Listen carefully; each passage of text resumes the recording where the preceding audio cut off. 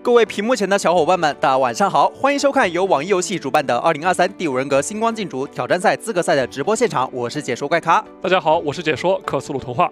首先，在比赛开始之前，我们要感谢主办方网易游戏第五人格，同时感谢官方合作社交媒体平台微博，感谢官方合作直播平台哔哩哔哩直播、虎牙直播、快手直播、斗鱼直播、抖音直播、CC 直播。官方合作媒体人民电竞、游酒网、兔玩游戏、赛高电竞、有麦文化、超凡电竞对本次赛事的大力支持。更多赛事详情，请关注第五人格官方微博。星光竞逐挑战赛在八月三十一日正式上线。矿洞下深层的黑暗中，只有散落各处的灵光矿石散发点点荧光。勇敢的竞逐者们穿越层层障碍，只为窥探真实的星空，无惧冲破黑暗的夜晚，勇敢追逐月光与星辰。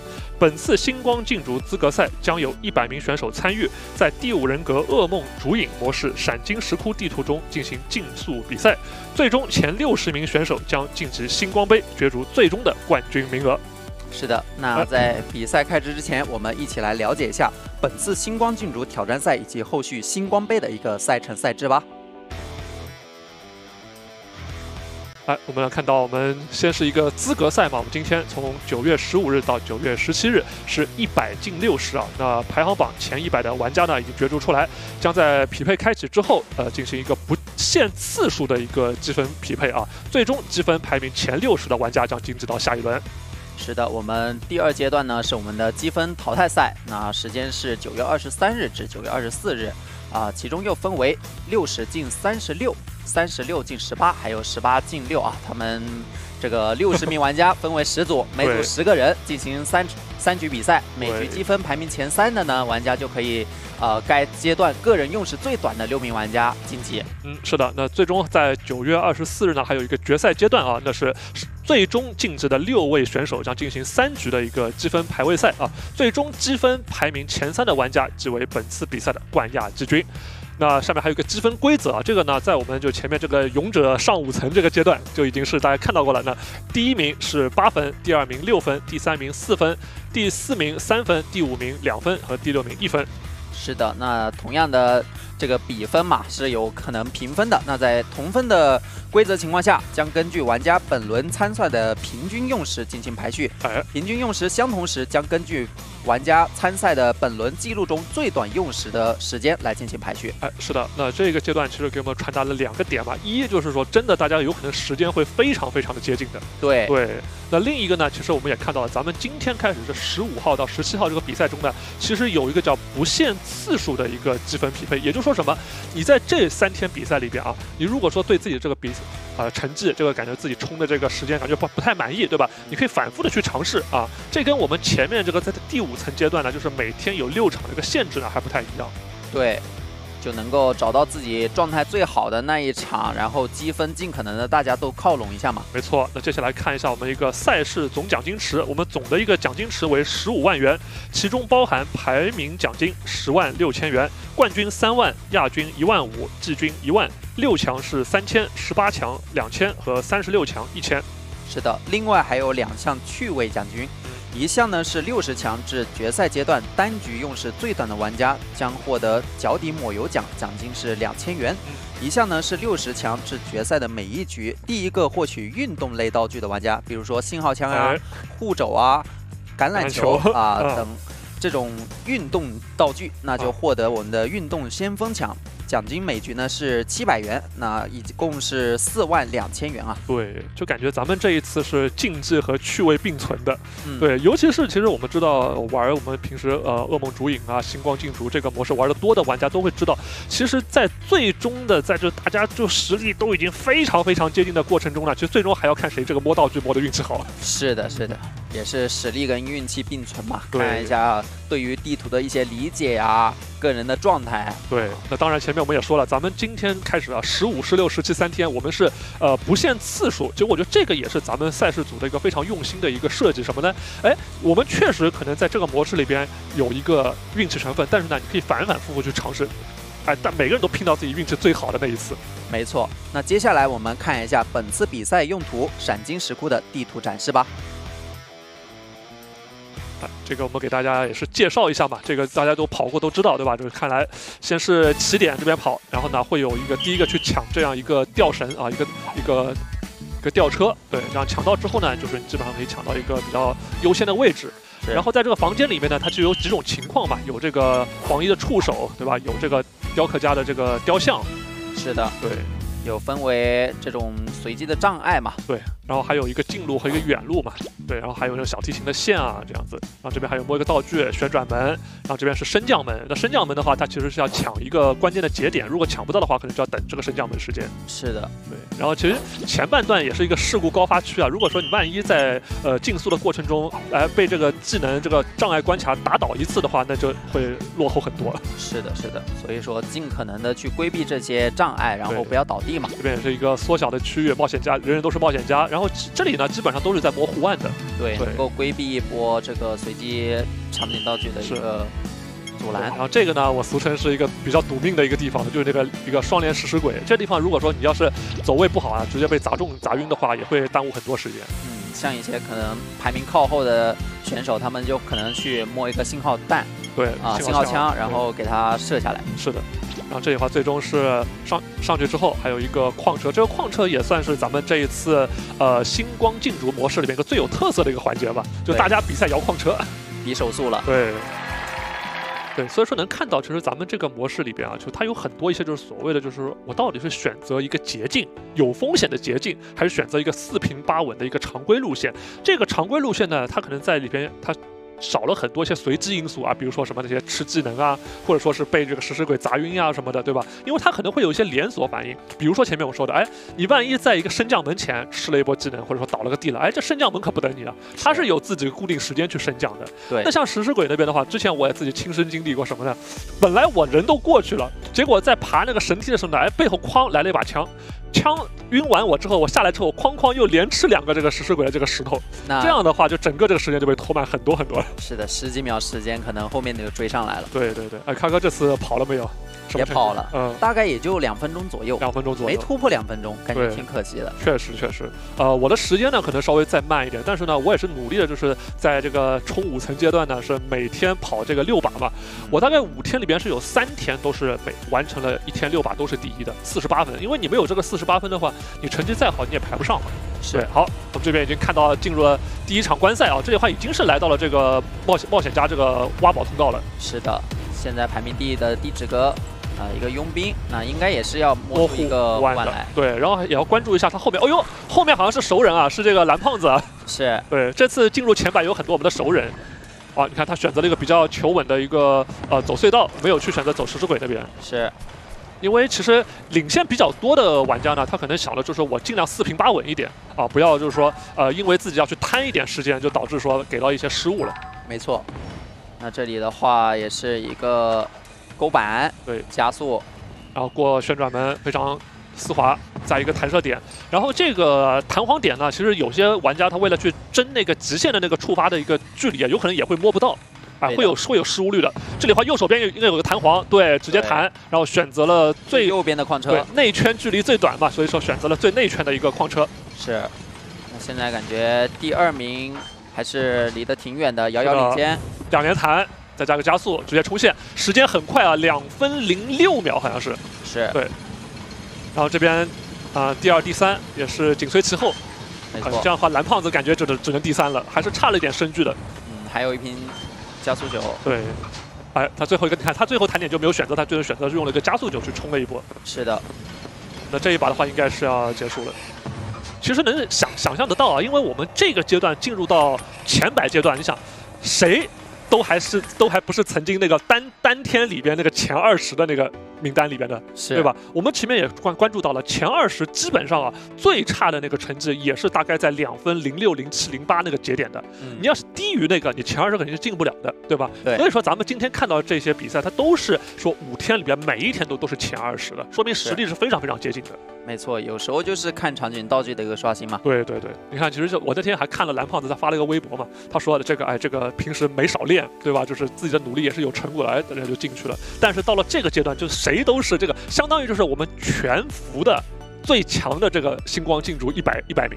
嗯，这么这这么去拼，所以说能感到其实每个人都是都不要说失误了，就是在没有失误的前提之下，如何说能去创造让制造别人的失误。好，我这边进入到下一局。哦，这一局这个汉 C 好像也是我们这边一个比较有名的一个 UP 主吧？是，是小女孩在一个步骤选择了捷径。哎，来看一下这个食尸鬼，你看躲得非常好。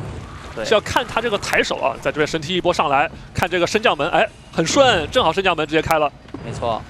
两连，然后这一话也可以走前面，对，因为它其实这个节点啊，它的最后一个升降门和那个荡车的时间点是很近的，对，没什么太大的区别。这里有一个磁铁，这个磁铁应该是用不了太多，因为能看到其实后面第二名的身位拉的还是非常开的。是，你看像这种地方，它如果有一些位移道具就很赚。嗯，后面呢其实也没有选择去摸像信号墙这种东西去阻隔第一名嘛。对。还是要利用这个右手边的一个弹簧点，也是选择了最内道的一个矿车。对，这样下矿车以后，第一时间也能够去弹到加速带。是，那这一把感觉这个先安应该是第一没有问题了，因为你看第二这边的佣兵开局，呃，这一位应该是还要刚刚才到这个最后一个审梯。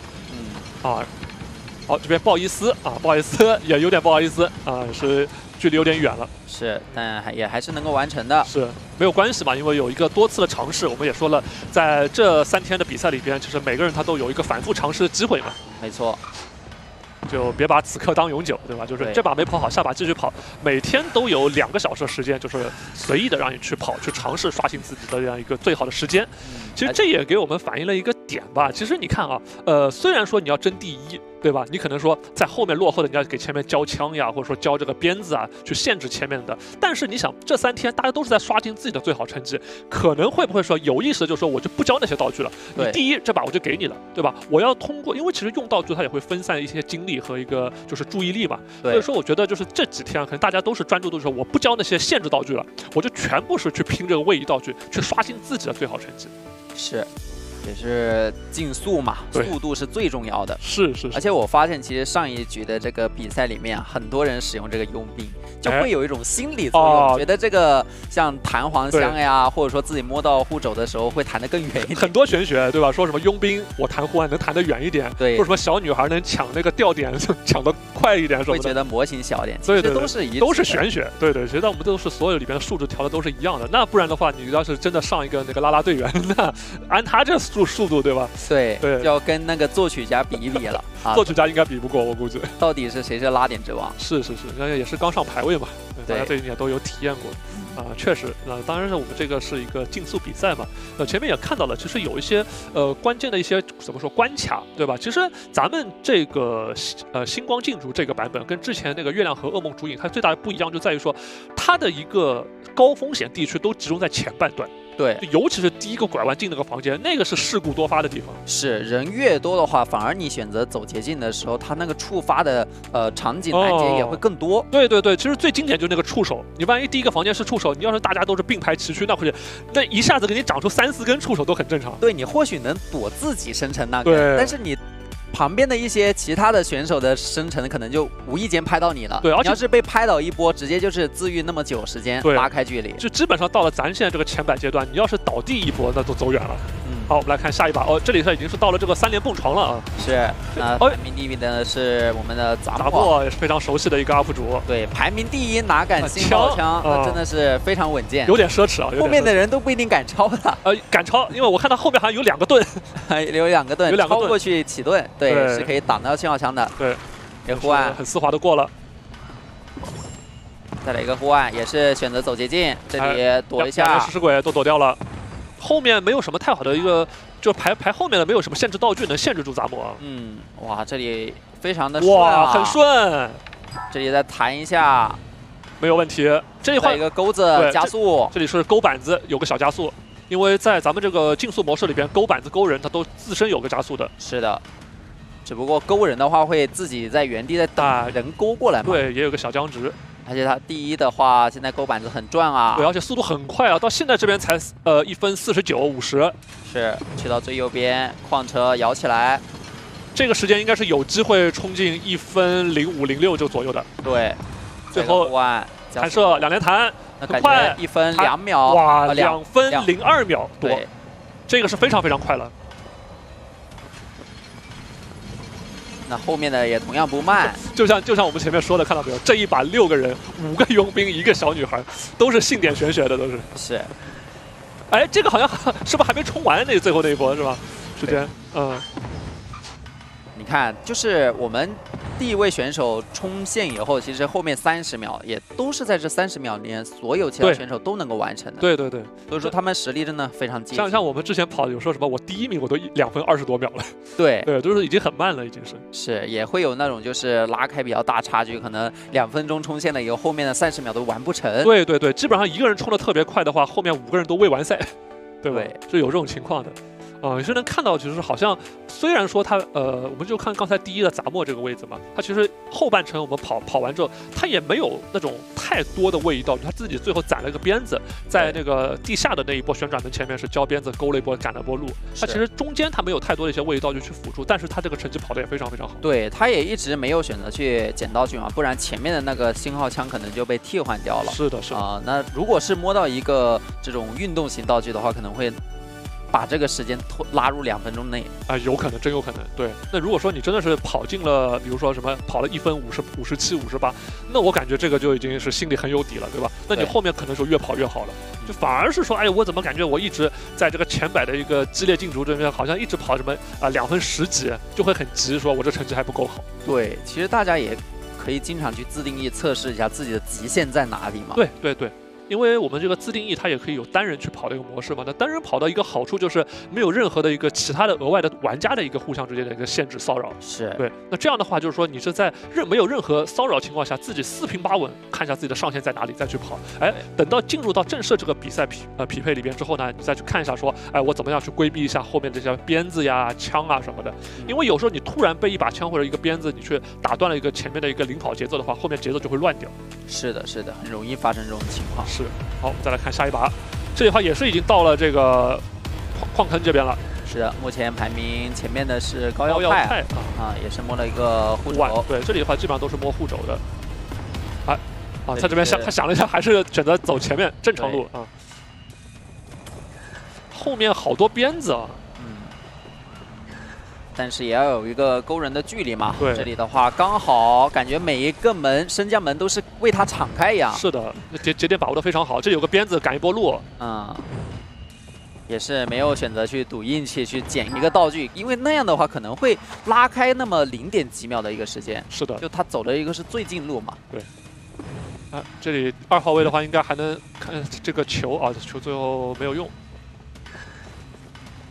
最后走了这边侧面上去啊，然后选择了一个第二赛道的一个矿车。是这个时候有护盾，也有加速九，有有个加速九的。冲门的话应该没对，冲线没什么问题。来双加速，然后啊，你看他因为加速太快，而且有一个喝酒的一个前摇嘛，所以说他最后一个弹点没有用到。是，那弹这个弹簧箱的时候，其实也会有一点硬直嘛。是是。主要是那个弹簧箱，呃，哎呀，被抢了。哦哟，三个人排排，对，嗯。你看这里的话也是一个最舒服的一个弹点，因为被用掉了，还没收回来，所以他没办法。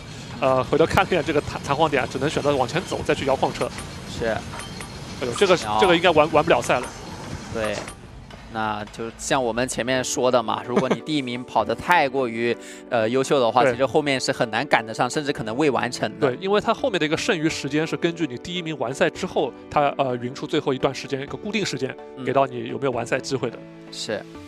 就后面如果有第一名的情况下，后面拉开比较多距离，大家都是呃有什么那种呃阻隔道具都不要用了，比较好一点。对对对。不然的话，其实互相阻拦，互相阻拦，可能就未完成。对。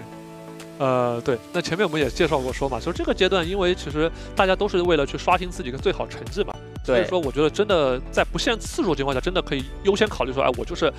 那种限制道具就算了，对吧？枪啊、鞭子就可以，呃，能少交少交，然后呃，尽量去刷新自己的最好成绩。哎，我在这两个小时，每天两个小时啊，三天总共是六个小时里边，我总有一把自己特别满意的啊，我就是呃道具啊，就特别运气好，摸的全部是位移，有球，有加速球，有护腕这样子。对，而且一旦你这个道具都是这种运动型道具，能够帮助你位移的话，你会发现很多这种像旋转门啊，还有升降门啊，都像为你敞开一样，就像刚刚砸墨的时候他走。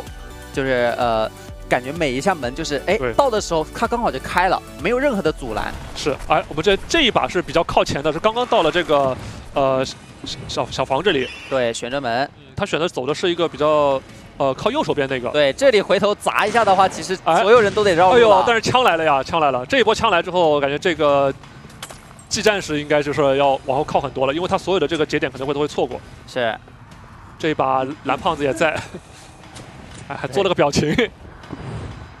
哎呀，一个对护在腕在前半段这里呢，接到了，对，也可以考虑说，呃，在自己满状态情况下，故意的去吃一个伤害，有个受伤加速的。对，后面的话，其实你像呃冒险家那个区域的话，是可以护肘弹过去，不会使对伤害的。对对，在这个阶段，如果说你自己手里有个球，有个护腕，或者说有一个个加速球的话，就像这样啊，地址哥直接我一波拉球经过了这个平地的隧道。对，其实有时候高手之间过招，真的就是拼的是谁在这个平地阶段能有一个额外的道具去帮自己赶一波路了。没错，地址哥看一下选择哪里啊？选择走前面，比较求稳，因为领先的选手他没有必要跟你去赌那个概率嘛，反而是落后的，可能说我第二、第三的，我要去跟你拼一波，呃，是落后第换不对劲的话，这个旋转门，因为你走那个神梯会有一个旋转门多出来嘛，是的，啊、可能会阻隔你。那你走这里的话，就少过一个旋转门了。地址哥现在一马当先啊，跟后面的蓝胖子拉开了挺大的身位的。嗯，这一把如果后面没有一个枪这样的阻隔的话，应该是稳第一了就。对对。后面的话，其实都是位移道具挺多，但还是难以去赶这个比较远的距离。是的，是的。就呃星光竞逐这个模式来说啊，其实基本上在前半段是要有一个定调的，一个大大的一个排排序一个是一个机会就感觉第一个摇臂都已经遥遥领先啊，了。对，那差很多了呀，对吧？是。后面的话就得看一下后面刷新的人的一个道具是什么样的。啊，看这全是佣兵，嗯 全是佣兵，也有很多特别好看的时装嘛。对，不同的。啊，最后一波拉球赶路，你看，其实双方呃六位选手，其实他们的一个成绩就是怎么说，自己这个操作熟练度都非常非常高的。对，基本上很少会见到他们失误，对，就更多他他们的第六名是我们的第一名的成绩，对对吧？嗯，确实。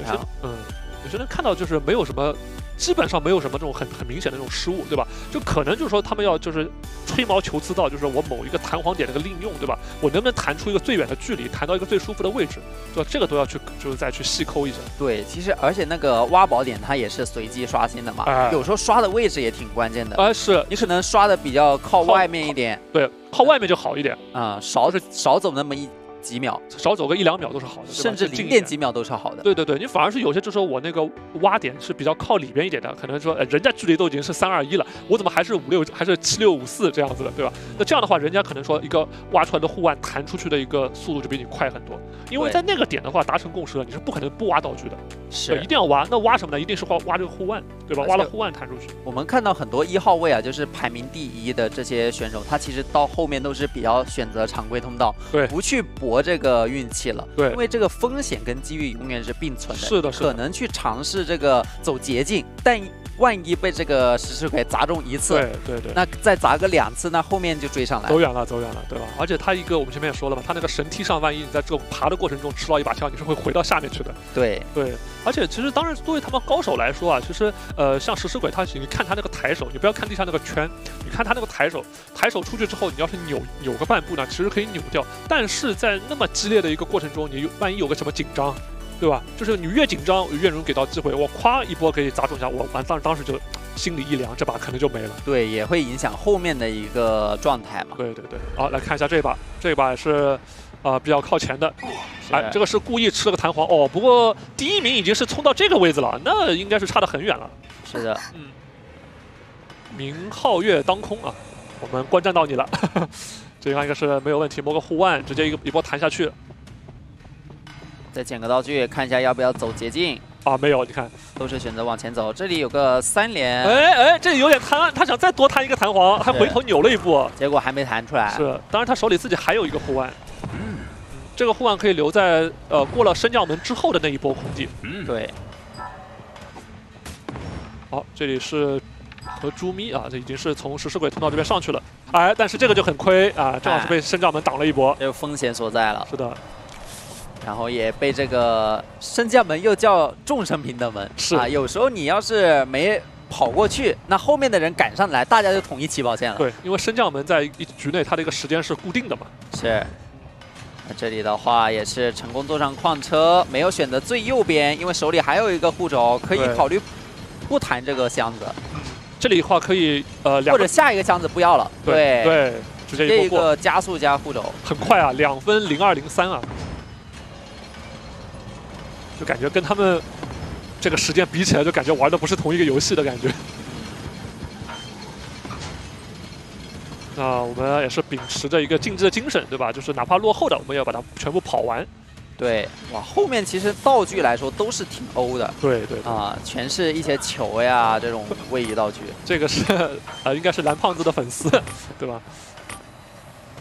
感觉他们也挺好玩的，一些主播他会带队。让自己的一个水友也参与到我们的赛事里来。对对对，呃，我之前是在当当年在噩梦主影出来的时候呢，我也自己搞过这种就水友赛嘛，也是在尝试说解说一下，就是他们这种就是跑的过程中，感觉，呃，咱们就是解说这个就是竞速赛啊，和我们平时解说一个比赛常规的比赛里边，感觉是完全不一样的，对吧？比赛里边我们可能更多去分析啊这波啊他们一个 BP 的思路、打法的一个思路，对吧？追击的节奏，哎，但是这个竞速呢，我们更多是要看一下，哎，哪边他一个失误更少，对吧？能给大家营造一种就是非常。刺激的激烈的感觉是，那我们又来到了下一场，这里的话，颤栗、玄月也一直在阻隔他们求生者啊。嗯，这第一、第二离得很近啊。对，哎，选择等他跳完弹簧床以后再跳，是因为还是跟弹簧床可能会更好快一点。那走侧面的话，可能还要经历那个摇铃的那个 QTE。是。他手里其实有个牛仔的鞭子的，看一下有没有时机给他挖宝的打断，勾一波回来，对吧？啊，岩岩酱啊，这边是丝毫不敢懈怠，他也因为其实选手之间他们也能看到后面的这个道具道具的情况嘛，所以说一看后面有鞭子，赶紧赶紧留。是，这里其实想蹭一个极限，后面摸了一杆枪，拿一把枪过来了。那这把枪一吃，可能是会有可能会停在旋转门前面啊，升降门前面啊。也还好，这个旋转门刚升起来，又来一杆。对，但这样的话就是第一、第二这个身位就拉近了。哎呦，这个升降门真的是众生平等啊！最怕它就刚升起来。是，哇，这把枪好多啊。然后一个鞭子，哇，近距离的勾鞭，为了一波小加速，再吃一把枪。哇，他们这一把多少把枪了已经？我都怀疑后面全都是就是自己许愿许出来的。我怀疑他们是不是在抢这个运动先锋奖呀？比谁摸信号枪摸得多？啊，你看这里的话也是个弹点没有呃摸到啊。嗯，哎，选择了最左边的矿车。那最外道其实也行，因为其实矿车下来之后呢，它有两个弹点的。嗯，对。啊，选择个近点弹点，对，然后再利用前面那个弹点，对。两个弹点直接到前啊！不过这一把的话，虽然说第一名啊，但是他这个成绩也只有两分十六秒左右。对，这个就只能说比较一般。就三杆信号枪都已经晕了快十秒。对，这一把确实是枪比较多的这个情况。对，但也是有惊无险嘛，最终还是夺得了我们的第一。对，那当然没有关系，反正后面的话应该还是会呃再多来几把，就是刷新一下自己的最好成绩。嗯。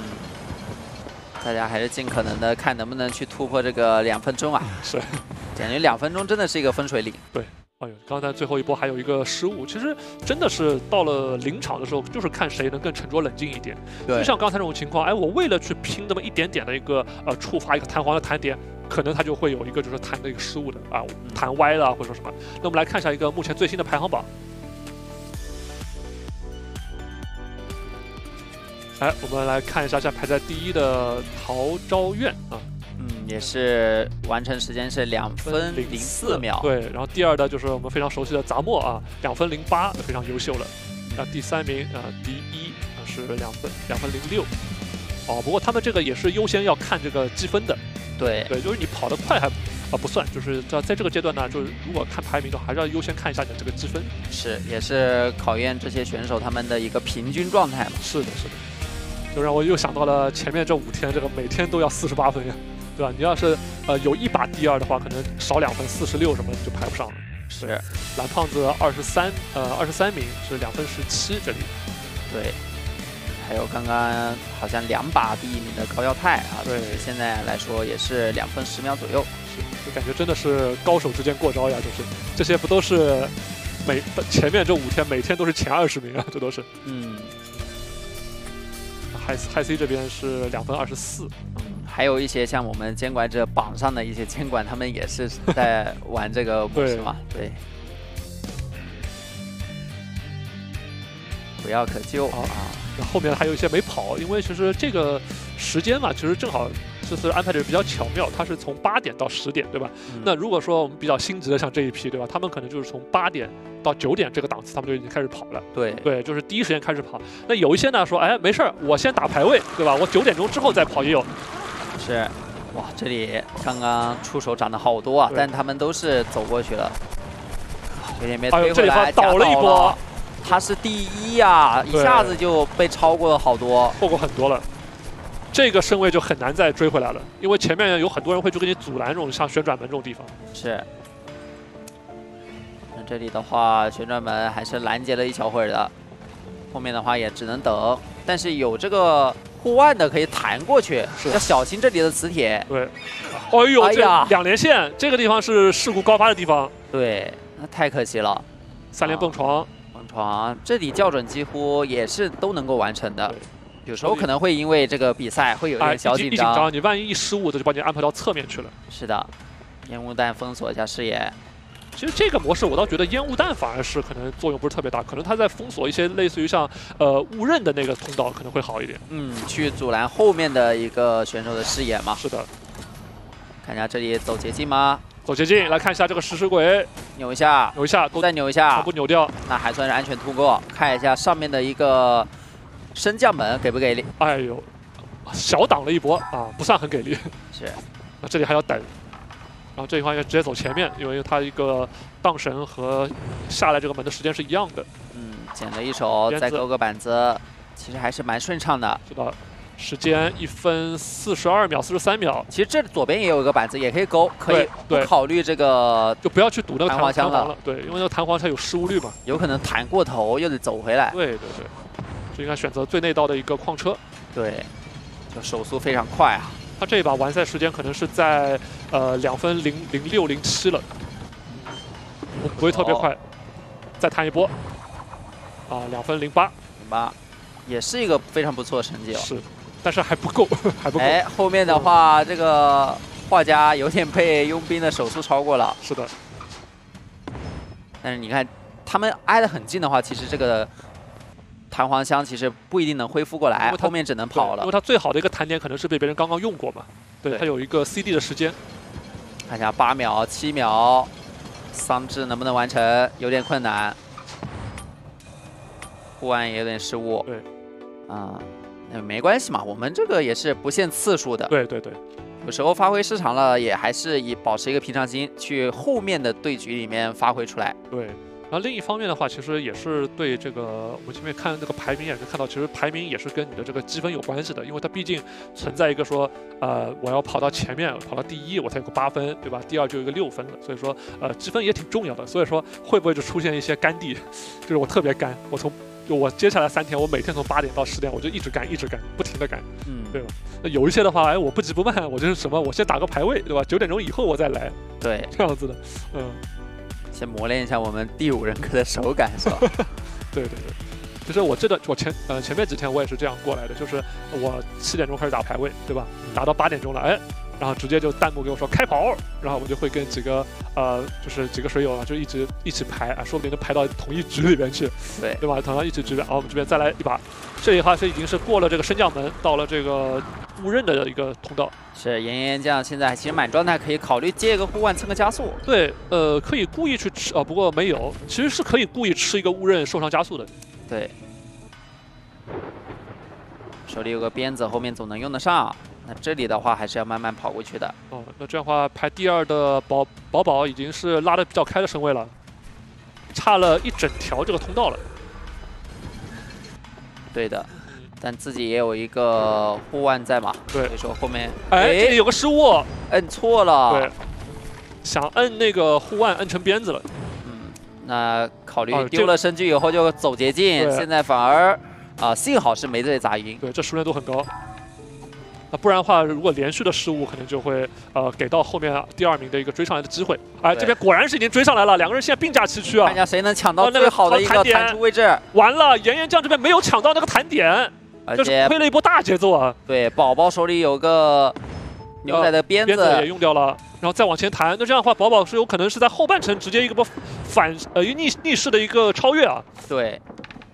来到上面这边右边的也可以先使用一下，让后面的人可能上来的时候没恢复好。那这样的话拦不住了啊、那这样的话，刚才炎炎酱就痛失好局啊，嗯，也比较可惜。后面也没有枪这样一个限制道具了。那这样的话应该是直接一步冲线，让宝宝拿下第一。甚至这个童锦城也是超过了炎炎酱，是，那感觉炎炎酱刚才应该还是有点失误的。对，就很容易影响到自己接下来一些操作，甚至这个思路嘛，你到底要走哪条路？就这个就像我们平前面刚刚介绍过说的，哎，平时有些关卡通过，其实你是非常的顺畅的，感觉就不不可能有失误的。但是在比赛中，哎，你一紧张，哎，感觉是呃离开了自己一个舒适的一个节奏，哎，节奏被打乱了，对吧？你一下子可能说你所有个操作啊，包括一些触发的一些弹点啊，或者说一些需要我去按的一些位置触发点，可能说都会呃给到一些失误，这个就很伤了。对，嗯，那也是后面的一些这个选手超上来，心态就完全不一样了。对，哎，趁对方失误，赶紧给他超过去，然后不给任何的机会。最急的时候就是在你被反超的时候，嗯这个时候你节奏一定是会被打乱的。是，就反而是什么？有时候最好成绩都怎么出来呢？就是我前面我开局第一个那个荡神，我就直接过去，我就我就领先了。嗯然后所有的一些那些，就甚至是有些那种关卡里边触发的什么那些呃触手呀、呃这个铃铛呀，包括乌刃啊什么都我都追不上我那种感觉。对，对，这里哎勾回来勾回来。而且有一个特别好的技巧，就是什么？自己手里有鞭子，前面有人的情况下，勾回来帮挡乌刃，是是这个特别鸡贼。没错。这样小可爱子求佛系啊，也是现在暂时领先。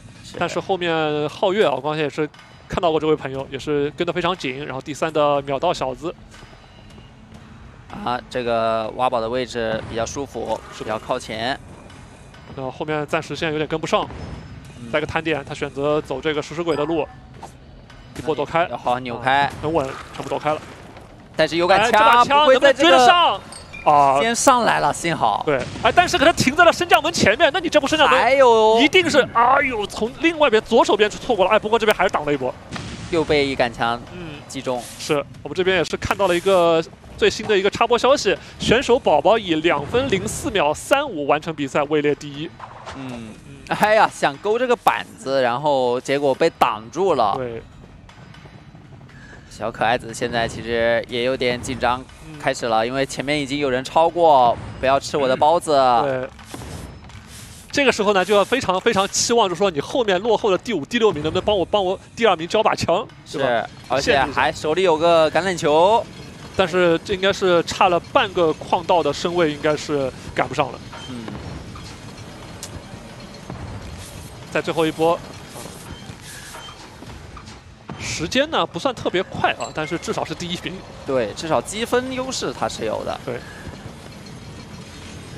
就前面我们也说了嘛，由于第一名跑得太快，会导致说后面有很多没有完赛的。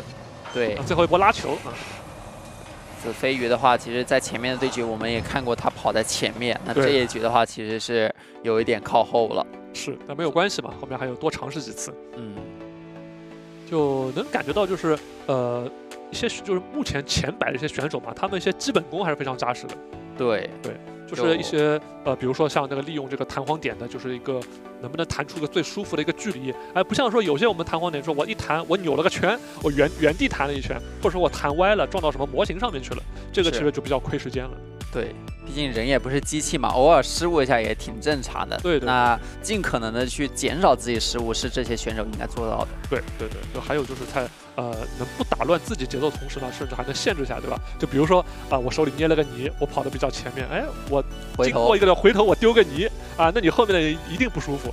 对吧？之前在这个噩梦主影的时候，就是有这样一个传统嘛，在旋转门那边丢一个泥，那特别烦。大家都过不去，大家都过不能绕远路了。对就是我们知道旋转门的话，尽量可能还是靠右走嘛。对但是那里有个泥的话，泥的时间持续时间又久没办法，对啊，就只能绕一下。有泥是确保你一定过不去的。对，所以说你只能从外呃从另外一边左手边远路去绕，对吧？这个时候还要比拼说谁的反应更快一点。是，甚至旋转门那里也有一个细节操作，是什么？就是我跟别人以快挤，但是我挤到前面，我可以，直接在那里站那么一零点几秒。哎，那人的模型配合上旋转门的模型，可能把你并驾齐驱那个人就挤到后面去。对对对，正好是再再来一把。呃，亚克是排在了暂时排在第一，手里还有个盾呢。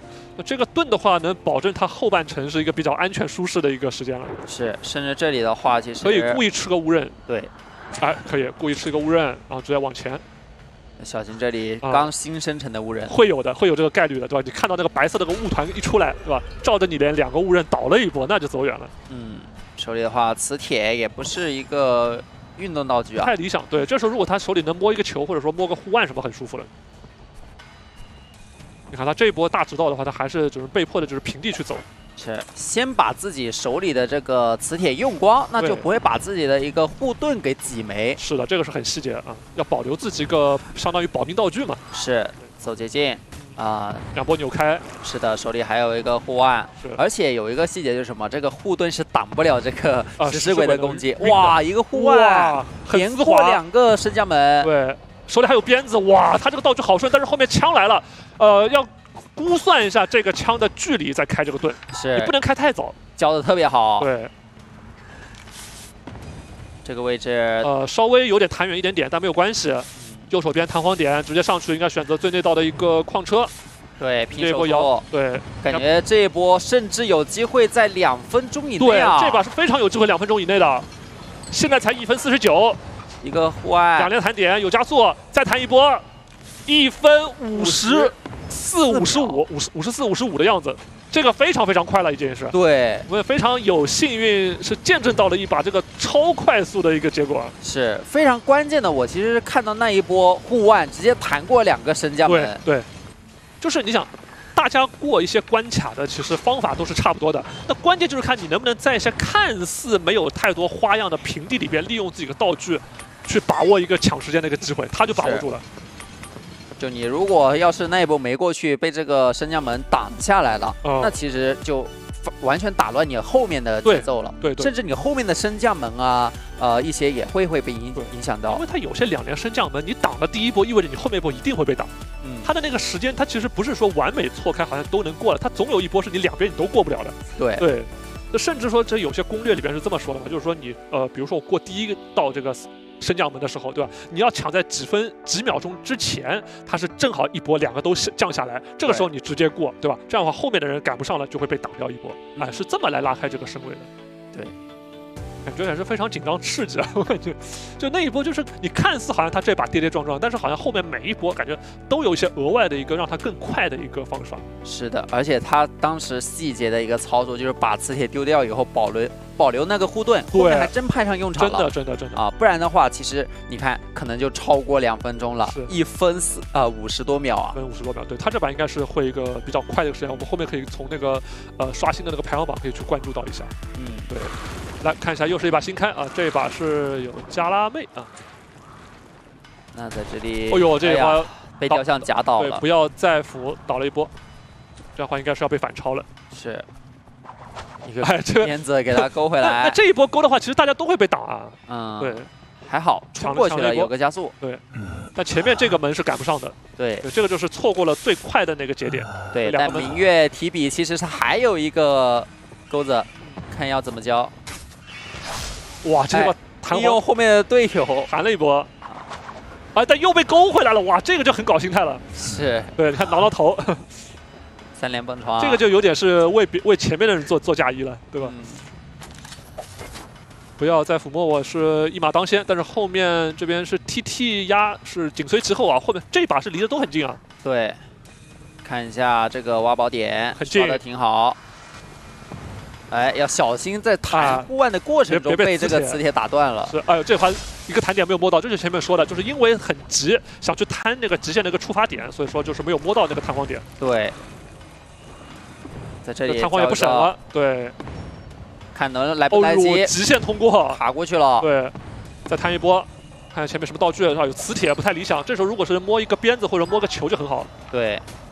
那后续的话，其实距离还比较远，没有信号枪的话很难赶得上。对，前面这里还就多吃了一个这个荡破零嘛，其实也是挺限制速度的。对，再一个护腕弹上去，哇，那感觉这一把不要再抚摸我，感觉速度非常快啊。嗯，也能够在两分零四秒左右去完成。下矿车，赶紧下来有点犹豫，两连弹，哎呦，你看，两分零六，两零五零六，也不错。后面的 TT 还有加拉妹也加拉妹感觉这矿车摇的不是很 很卖力啊，好像。因为我们知道矿车它有一个那个红色的一个最快区间嘛，是，所以你要保证自己这个点按的一个速度是能维持在最快速度才可以。对，加拉妹这一把也是最后冲线的时候挠了挠头，他也是感觉到这一把自己节奏被打乱，主要还是那波被鞭子勾了一波吧，在那个拉线的那个区域。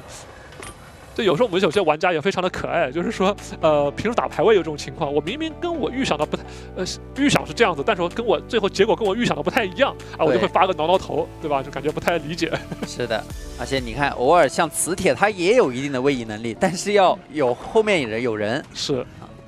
哎，这里的话再来一把啊，嗨 C 暂时排在第一啊，那后面比比起跑的哪位紧随其后？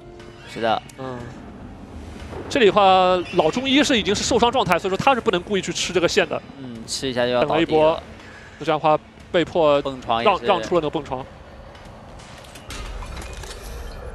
但是这几位现在目前看那个排名都是靠第四、第五的位置，就这把不知道他们靠前面什么情况。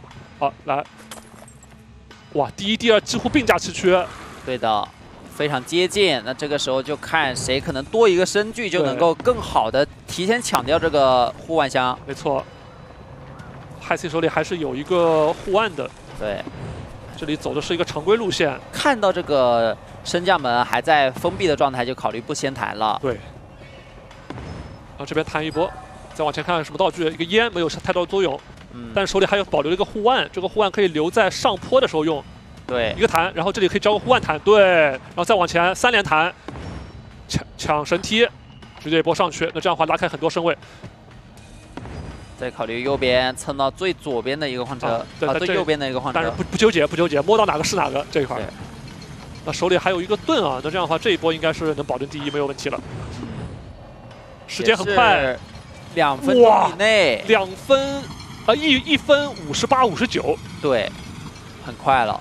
就能看到，哎呀，哎哎，这个枪，一个跟踪枪，是。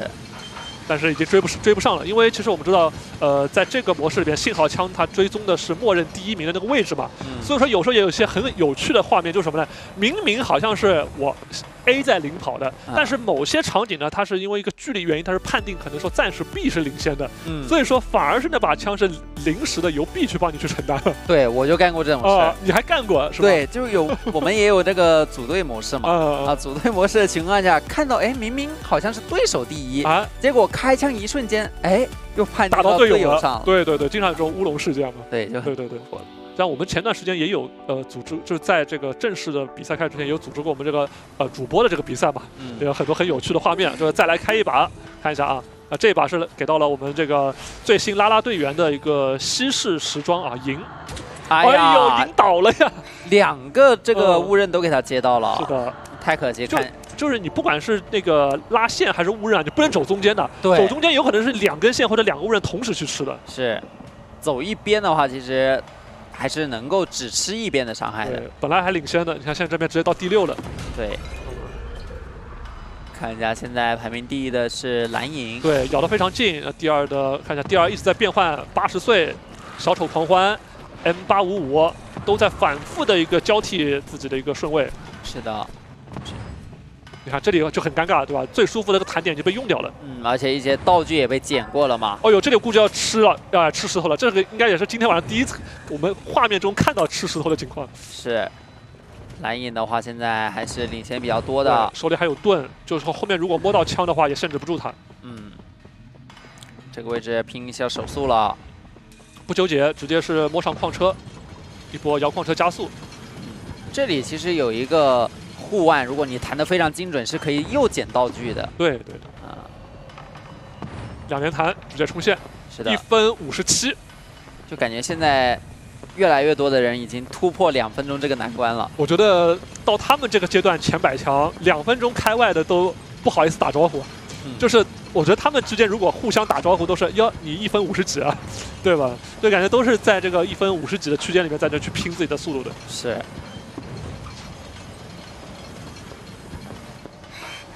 那你看这个恋人他就有点难受了，毕竟前面是一个领先状态，但就因为一波倒地，对。直接从第一跌到了倒一，对就以他们这个实力这么相近情况下，你万一真的是给到一波什么啊，我倒地了，啊、甚至是我吃两连枪了，两连晕了，就或者说哪怕就是啊，我们这边也是再看一把，这个是经过这个雕像房，啊，又是宝宝，旋转门，宝宝是不是刚拿过第一？对，嗯，啊，你看这个就很顺，是抢到了这个三十秒这个节点，是的直接，过。但是他自己是个半状态啊，所以说也不能特别贪，直接用这个盾牌是挡掉了这个呃一波一波拉线。是，但是因为后面这个线马上跟上了嘛，所以说还是让了一波，等了一下。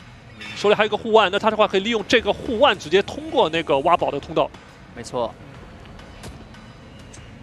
前面这一波缩小之后找弹点直接交护腕了，应该是。是开明的话也是不小心倒地了，我看到，那这相当于说呃第一名的话就是在这个矿洞这个位置，等于说是有两个护腕，对吧？自己一个护腕进，然后再一个护腕出。对，前面没有很大失误的话，其实是很难被超越的，对，领先的情况下选择了最安全的一个侧面通道。是少过一个升降门，是，哎，这个看一下这个升降门能不能极限的挤过去？哎呦，挡住了一波，这个就很伤。是，对一下子就可能差个三四秒，是，枪还来挡了一波。你看，这个就是要对自己，哪怕你这会儿手里有盾，对吧？你不能说上面提示看到枪了你就交盾，它有个距离，一个呃让子弹飞一会儿的时间。嗯，万一你就是提前交了的话，对，盾也交了，然后枪也吃了对，，那是很伤的。上绳梯没有问题，后面没有什么太多限制道具。哎，是我们下面也有看到选手 YARK 是以两分零二秒完成比赛，位列第一。哇，两分零二秒六八啊，这个好快啊！再往前，哦，感觉是啊，还行。那第二名啊是差的有点远。对哎，这边看到了一个，哎，这个弹点我也失误过，就是容易指到里边去，然后被卡在里边。是嗯，直接白弹了。是的，开米的话，这局还是因为前面经过那个颤栗乐符的地方对直接倒地了嘛。是的。这一把成就不是特别理想了。对，嗯，但还是都完成了，嗯，所以说没有拉开特别多的一个时间差距。对，不过都无所谓啊，主要是看一下每一局自己再找一找哪里可能还还不够能够再进步一下的地方。对对对对，我觉得这个阶段的一个真的我们设计的一个好的地方就在于说，你可以反反复复去尝试，对吧？因为大家都是高手，而且也都有一个摸道具、一个运气成分，所以说呢，呃，有一把这个失误呢，我觉得也不要太过紧张。它不像说前面这个第五层那个阶段，你一天就六把，对对吧？你六把，你还要保证自己把把都第一，都要有确保有六八四十八分，对吧？那个阶段的话，你越紧张，呃，你反而可能是失误就越多。对，而很那么多人的一个情况下，其实呃基数也比较大嘛。对那你如果但凡有一把不是第一名，你都会慌一点基本上在那个阶段，基本上你一天里边有一把不是第一，你就等明天了。啊，就就刷掉了就。几乎几乎也也可以不用跑，为什么呢？因为你前面的都是四十八分，在嗯四十八分往后排，才能也也可能给你挤到什么六七十名、七八十名都是有可能的。是我自己也跑了几天，感嗯。受就是谁要抢到前面开局那个吊绳第一个荡神对。啊，然后就能够拉开距离。对，然后你还要保证后面这个房子里边你不失误，对吧？你呃，如果是触手呢，我觉得还好。其实怕是怕什么失误，就是那个雕像，因为其实有一个小小技巧的。如果说你第一个房间是雕像房的话，你是可以考虑往前面走；如果不是雕像房的话，你是可以可以考虑从左手边走的。是这个跟你，因为它其实布置那个关卡的一些呃限制你的一些道具嘛，就是这是一些场景嘛，比如说雕像啊、线啊、嗯雾刃啊，它是有一个触手，它有点规律的。嗯就你第一个房间如果是雕像的话，你可以考虑往前面走；如果不是雕像的话，你就可以往侧面走。对。我们看一下这里，青龙马选择走了一个捷径，是哎，三个人一起过，那总有人被顶回来。对这个通道的话，走另一边吗？是你要三个人同时挤的话，一定会有人挤不过去的。那这里感觉还要再等一波，哎，有泥，这谁丢的？谁丢的？呃这，没有公德心啊！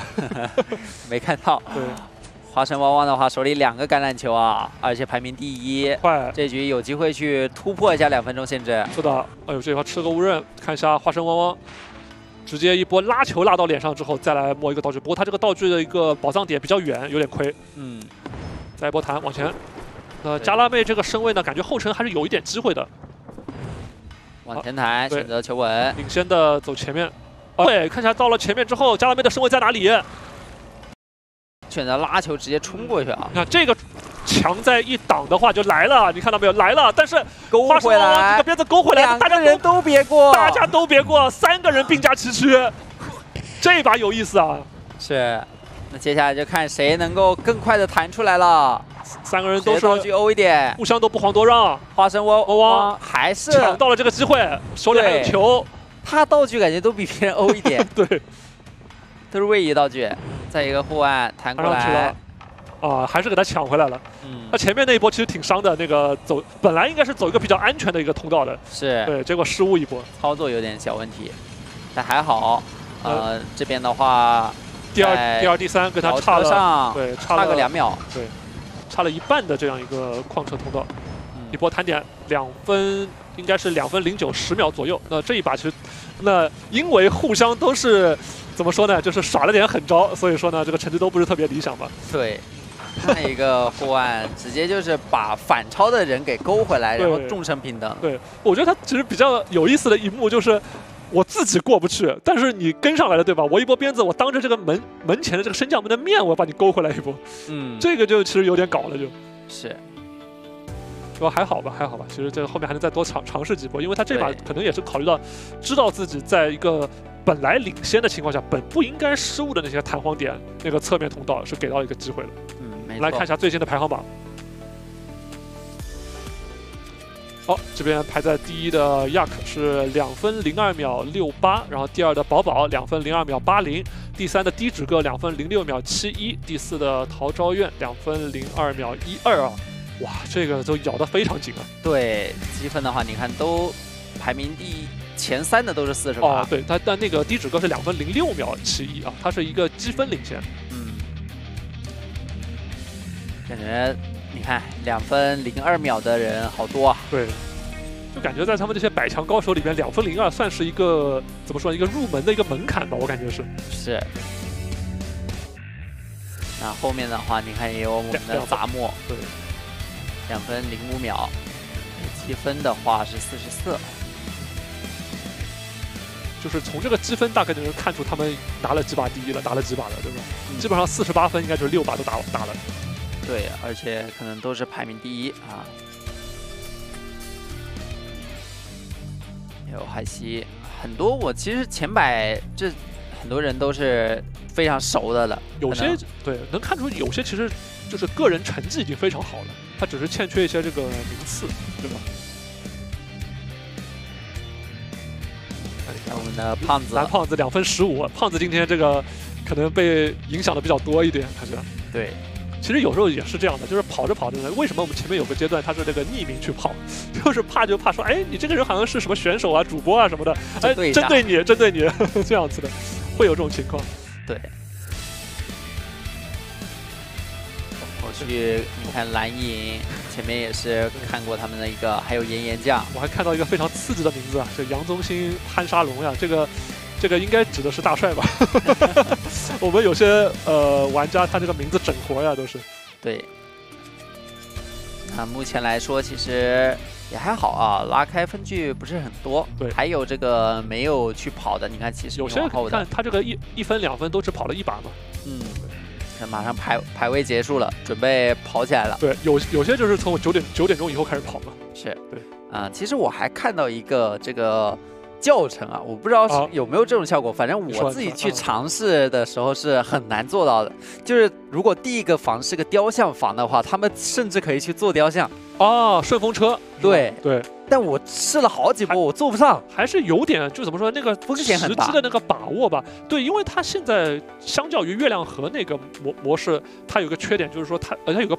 难点就是在说它的那个可能铃铛和那个呃关卡是在一起的，它两个在一起给你就会限制到。嗯，对，对，那我们这边呢也给大家就是介绍一个我们呃本次星光竞逐它有一个场间优一弹幕互动啊。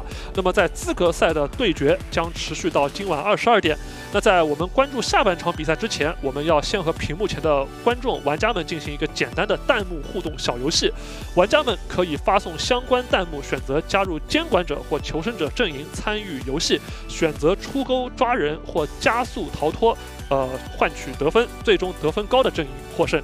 这个感觉也是一个我们又一个全新的整活呀，咱们官方，对吧？就之前我们可能在一些直播间有见过类似一些弹幕互动的一些玩法，对吧？哎，我选择加入，对吧？然后我加速这样子的，咱们这次也玩这个，是也是希望我们的观众朋友们赶紧发送弹幕参与到我们的一个互动环节里来了。是的，我们之前也稍微看到一点点，还是比较有趣的，大家可以期待一下。嗯，对。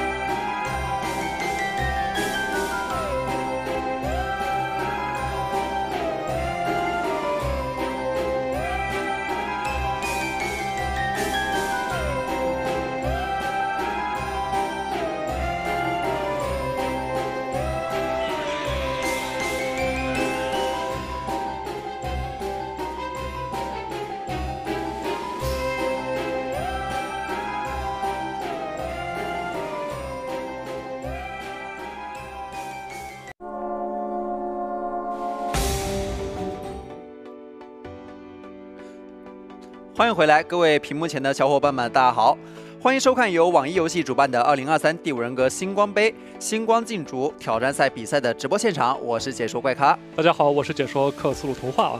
呃，刚才这个太有意思了，就我觉得这是。大家很多我们观众在屏幕前在直播间里边守候，也是第一次看到这种这么好的整活。刚才我也试了一下，但是我好像前面没看到我跑，可能人太多了。是，就感觉好多人啊。对，就真的是好多人点 JPG 的感觉。就是你看啊，监管者真根本抓不过来，或者说什么呢？就是有点像自助餐一样，就是因为人太多，随便勾，随便勾。我感觉这随便一勾都能勾到人，并且这次咱们给我们展示一下，原来哦，邦邦守夜人红夫人她也能向鹿头出钩子。是，甚至甚至我看有很多人都是在一边在那跑，一边都是在哈哈哈哈哈哈，就这么过去，很有画面感啊，就感觉就是这都不是好像是来过要一个抓一个逃的，这都是过来玩儿，你知道吗？这种感觉特别欢乐啊。是对，也是全民的，我们让我们去体验一下这种就是啊，在这个星光竞逐的一个氛围中嘛，因为我们这次设置一个场景，那个氛围其实都是啊咱们闪金石窟的一个主题。没错。好，这边再来开一个下半回下半场的第一把。哎。这一局目前排名第一的是个画家，嗯，还是比较少见的。波改的，是躲雕像躲得非常的灵活。一个烟雾弹，这样的话后面的还是会有点被这个旋转墙加烟雾弹给干扰到。这个 N 刚才我看他还是第二的，但是因为挡了一波之后马上就落后了。是要小心，哎，挡等等一波。受过伤了。是，然后这再等一波，嗯。然后能抢到这第一个三连蹦床，那这样的话 f o r g u 应该是，那在前中段的时候应该是能领先的。嗯，而且有一瓶加速酒能回状态啊。对。也能加速。对，可以快快速的通过这个通道。看一下挖宝点刷的好不好。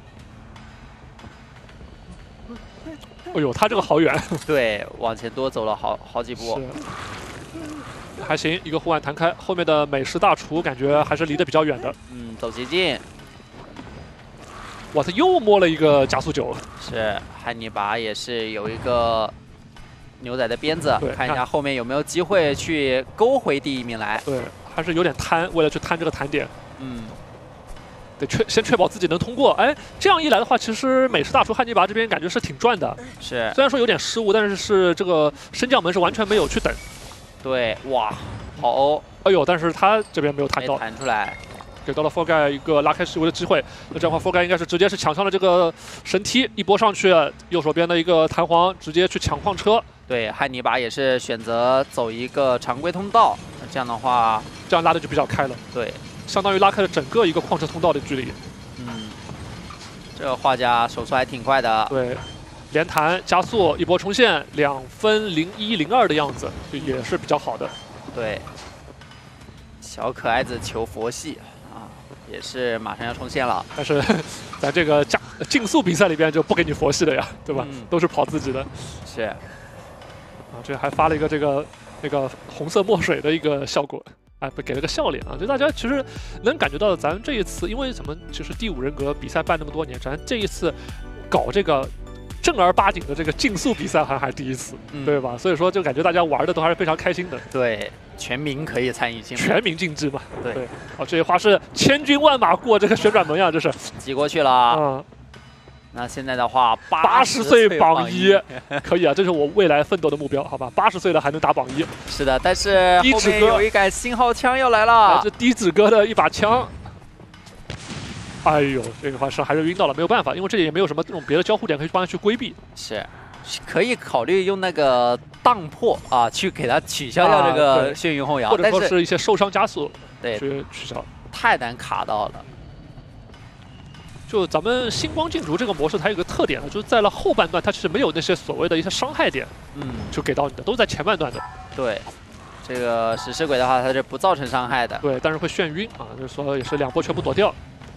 它有些节点如果卡得好的话，甚至你在爬的过程中也会被它石头砸到。嗯，你看还是比较顺利的，就阻挡了那么一会儿，摸了一个鞭子，鞭子刚好用上。这里摸鞭子还是比较顺的。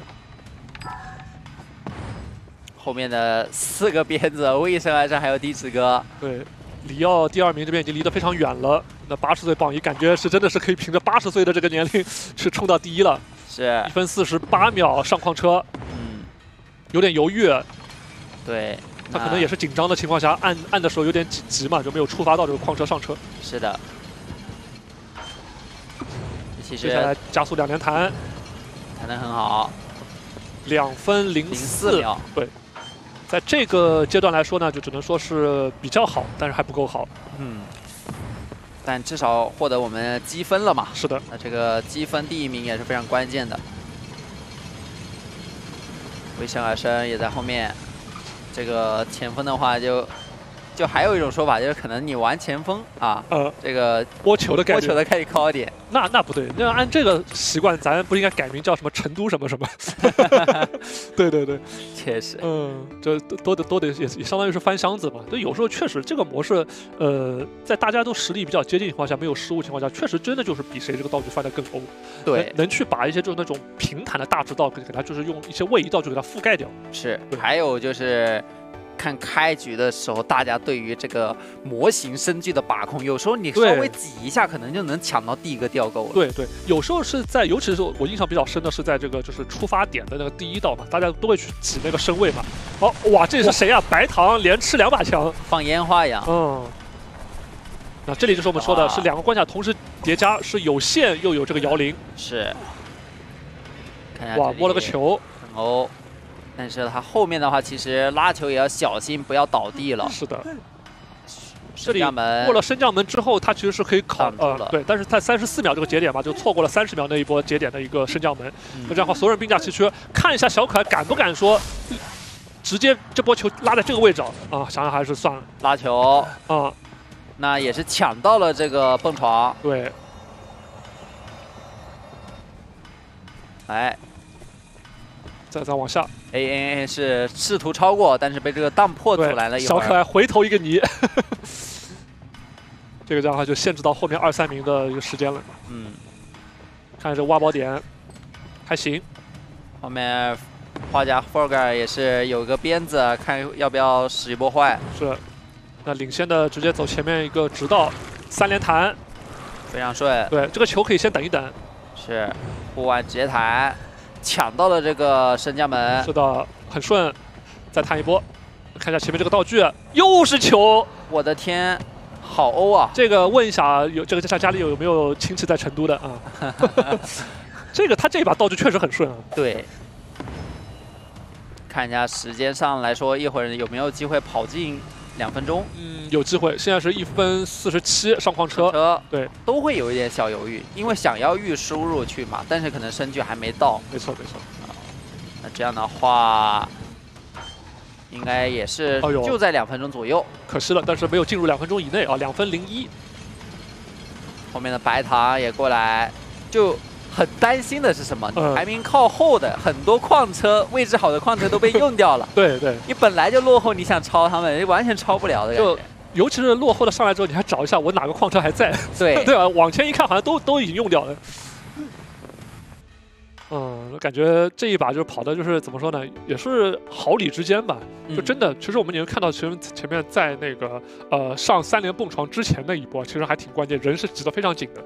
对对，因为前面已经可能在大家一起过前两个房子有比较多的阻碍的时候受伤了，那后面的话就千万不能受伤倒地了。对对对，其实这个模式有时候真的是你断节奏，真的是断在人挤人的这种环节的啊。比如说大家一起过那个过触手的时候，对吧？大家一起在那过线的时候，哎，你挤我一下，你挤我一下，尤其是在过那个旋转门的时候，那个地方你人一多，你是真的有时候我就恨不得从另外一边绕了，算了。对，对，好，这边再来一把，看一下，哎呦，这安欣欣是直辛安安是直接倒地了是。啊！这谁啊？这 看到他倒地还给他补了个泥在前面，美食大叔汉尼拔领先。啊，对，来看一下哦，选手虎牙蓝胖子以两分零五秒五九的平均时间完赛啊，目前位列十五名。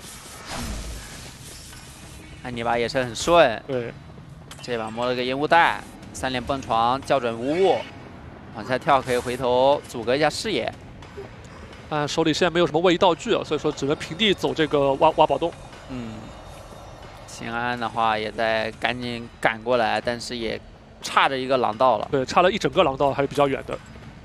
哇，美食大厨这个摸宝点非常舒服，一个护腕弹稍微有点小失误，但问题不大。这里应该是选择往前面走，对，手里有个鞭子。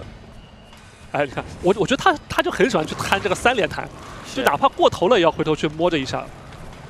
为了去蹭到一个最快的一个加速。哎呀，这个升降门不给面子呀，刚好升起来了。我我我甚至感觉他当时那一波有没有可能，如果不去探第三个弹簧点，可能就过去了。就是，嗯，这里有个鞭子可以利用，手里还有球。嗯，那我们看到小可爱子求佛系也是以两分零零三二的一个时间位列第一。对，两分零零秒三二啊，这个也非常快了。啊，一波选择往前走，再把这个球拉一下，上面还能再蹭到一个矿洞里边的加速。对，选择一个好的位置，上了这个最最内道的一个矿车。嗯。那这样排在第二的新安安，现在是差了几乎是一整个矿车通道了。对，二连弹那也是两分零六，直接冲线。对。哎，甚至刚才看到这边是 ZHI，好像刚才是。一波反超啊！反超了新安，嗯，酷拽文大少，应该也是能完成的。嗯，能啊。对，下了矿车以后，十几秒应该就能冲线了。是。但对他们这个阶段来说，两分二十多秒，这个已经是啊不够看了，已经是。是孤言结语，哎呀，这里也是的，哎，那算了算了，哎哎，甚至甚至没完赛，他可能知道我们在观战他啊，或者或者他觉得说第一个那个前面那个弹簧点失误之后，他就有点那个觉得好像这把没希望了。对，在这种最后冲刺阶段，确实他这个两连弹是不能有一点点失误的。嗯嗯。有时候你就是呃贪那一点身距，想弹出更远的距离，反而会让你错过一些东西。对，就是一个极限的一个触发点，对吧？就是一摸，反而有可能没触发到。嗯，确实有点可惜吧。但是感觉其实大家拼到最后嘛，现在这个有些名次陆续已经出来了，对吧？当然这只是第一天嘛，所以说还要看一下后面具体的情况。对。然后还有一些明星选手，前面也说了，像蓝胖子，像杂墨，对吧？就前面我们看到好像还有杨七，对吧？还有一些呃榜前的一些路人，他都是有些是有些，我现在甚至好像有些还带什么小马股的，对吧？对。现在比较流行的还有一些，就好像是各自协会啊、各自那种战队那种前缀的名字的。是。就是带着一整个可能协会啊、战队的期望来到我们这个比赛，希望能够打出成绩的，甚至有时还带了自己直播间平台的，对吧？这个有虎牙的，有 B 站的，就哪里都有的，还有抖音的，刚才也有，对吧？嗯，就确实是大家就全民参与嘛。对。就给我们每一个人一个机会，只要你有你有这种玩娱乐模式，也有一定的技术能力在的话，你能够获得我们的奖金。是，而且我们前面也介绍说了嘛，咱第一次搞这种竞速的一个全民赛，对吧？在娱乐同时又不乏这种竞技性，对吧？在竞技同时呢又不乏这种娱乐，对吧？我们有些玩家说，哎，我只要一打比赛我就紧张，我就慌，哎，但是好像跑酷这个比赛呢，好像大家都能参与一下，那它的压力确实没有常规模式那么大，而且就是各自为营嘛。对，啊。也不用担心这个各种什么练角色呀什么的，大家其实基础数据都是一样的。对，你就挑你最喜欢的时装穿上你就上，对吧？就可以。是的。但是怎么说呢？就感觉还是呃，也是一个重在参与的一个活动嘛，对吧？现在也是提倡啊，像那种很现在有亚运会啊、运动会这么一些正在举办，对吧？在这么一个氛围里边，我们这边有一个竞速跑酷，感觉还不错，真的不错。对。激发一下全民的这个竞技之心啊！大家互相之间去竞争第一，那其实能够让我们玩的越来越好。对，我们来看一下最新的排行榜。好，那现在位列第一的是小可爱小可爱子求佛系啊，是两分零三十二，两分零零秒三十二。第二的亚克是两分零零秒三四十三啊！哇，就有时候就差那个。零零后面的那么几十毫秒，对，大家都是零零后了，是 后面都是，对吧？零一的、零二的，那排第三的是目前是陶昭苑，然后我们的刚刚的宝宝啊，八十岁榜一都在前面。看，我看到蓝胖子第九，杂墨第十啊，这些明星选手，对吧？其实也不遑多让，对，也慢慢追上来了。是的，是的，那都是四十八、四十六啊，这些成绩都是。嗯。是想去把我们的这个积分给拉满，拉到四十八嘛，然后再把时间上提上去，去争夺一个名次。那再往后的一看，我感觉他们前百是真的卷呀，到了二十四名往后都都是这什么零九秒了，都已经开始零九一一十秒了开始。对，非常卷啊，大家都在比拼，真的就是拼谁的失误更少了。嗯。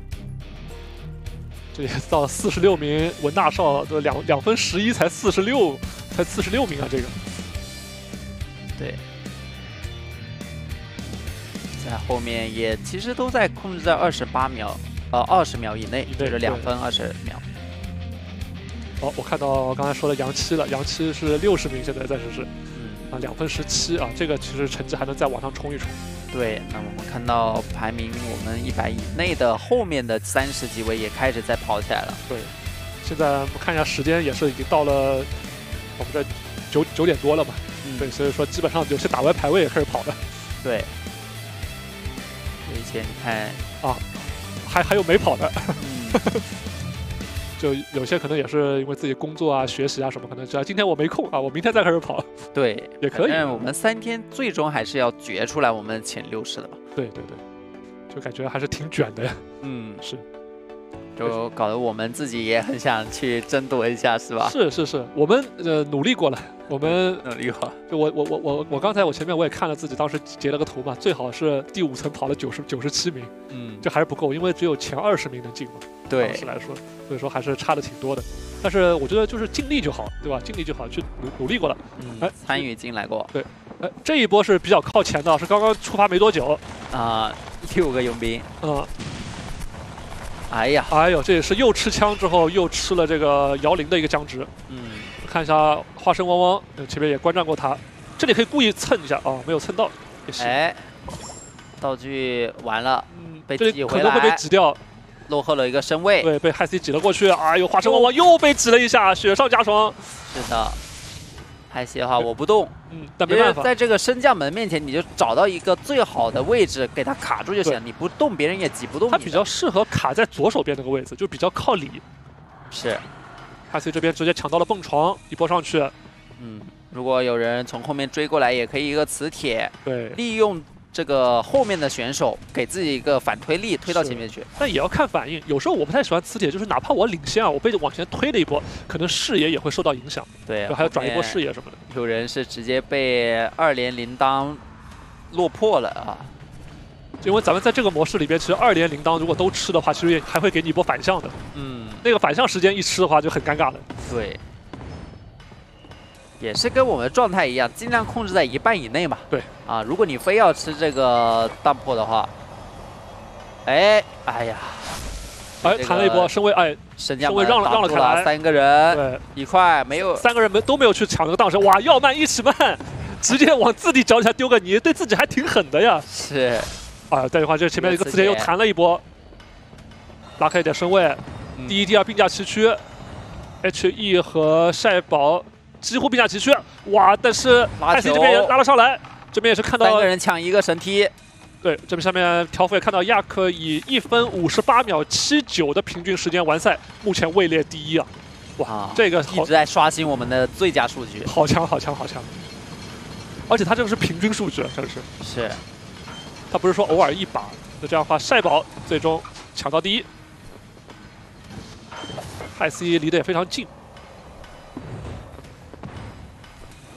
也是相继冲线。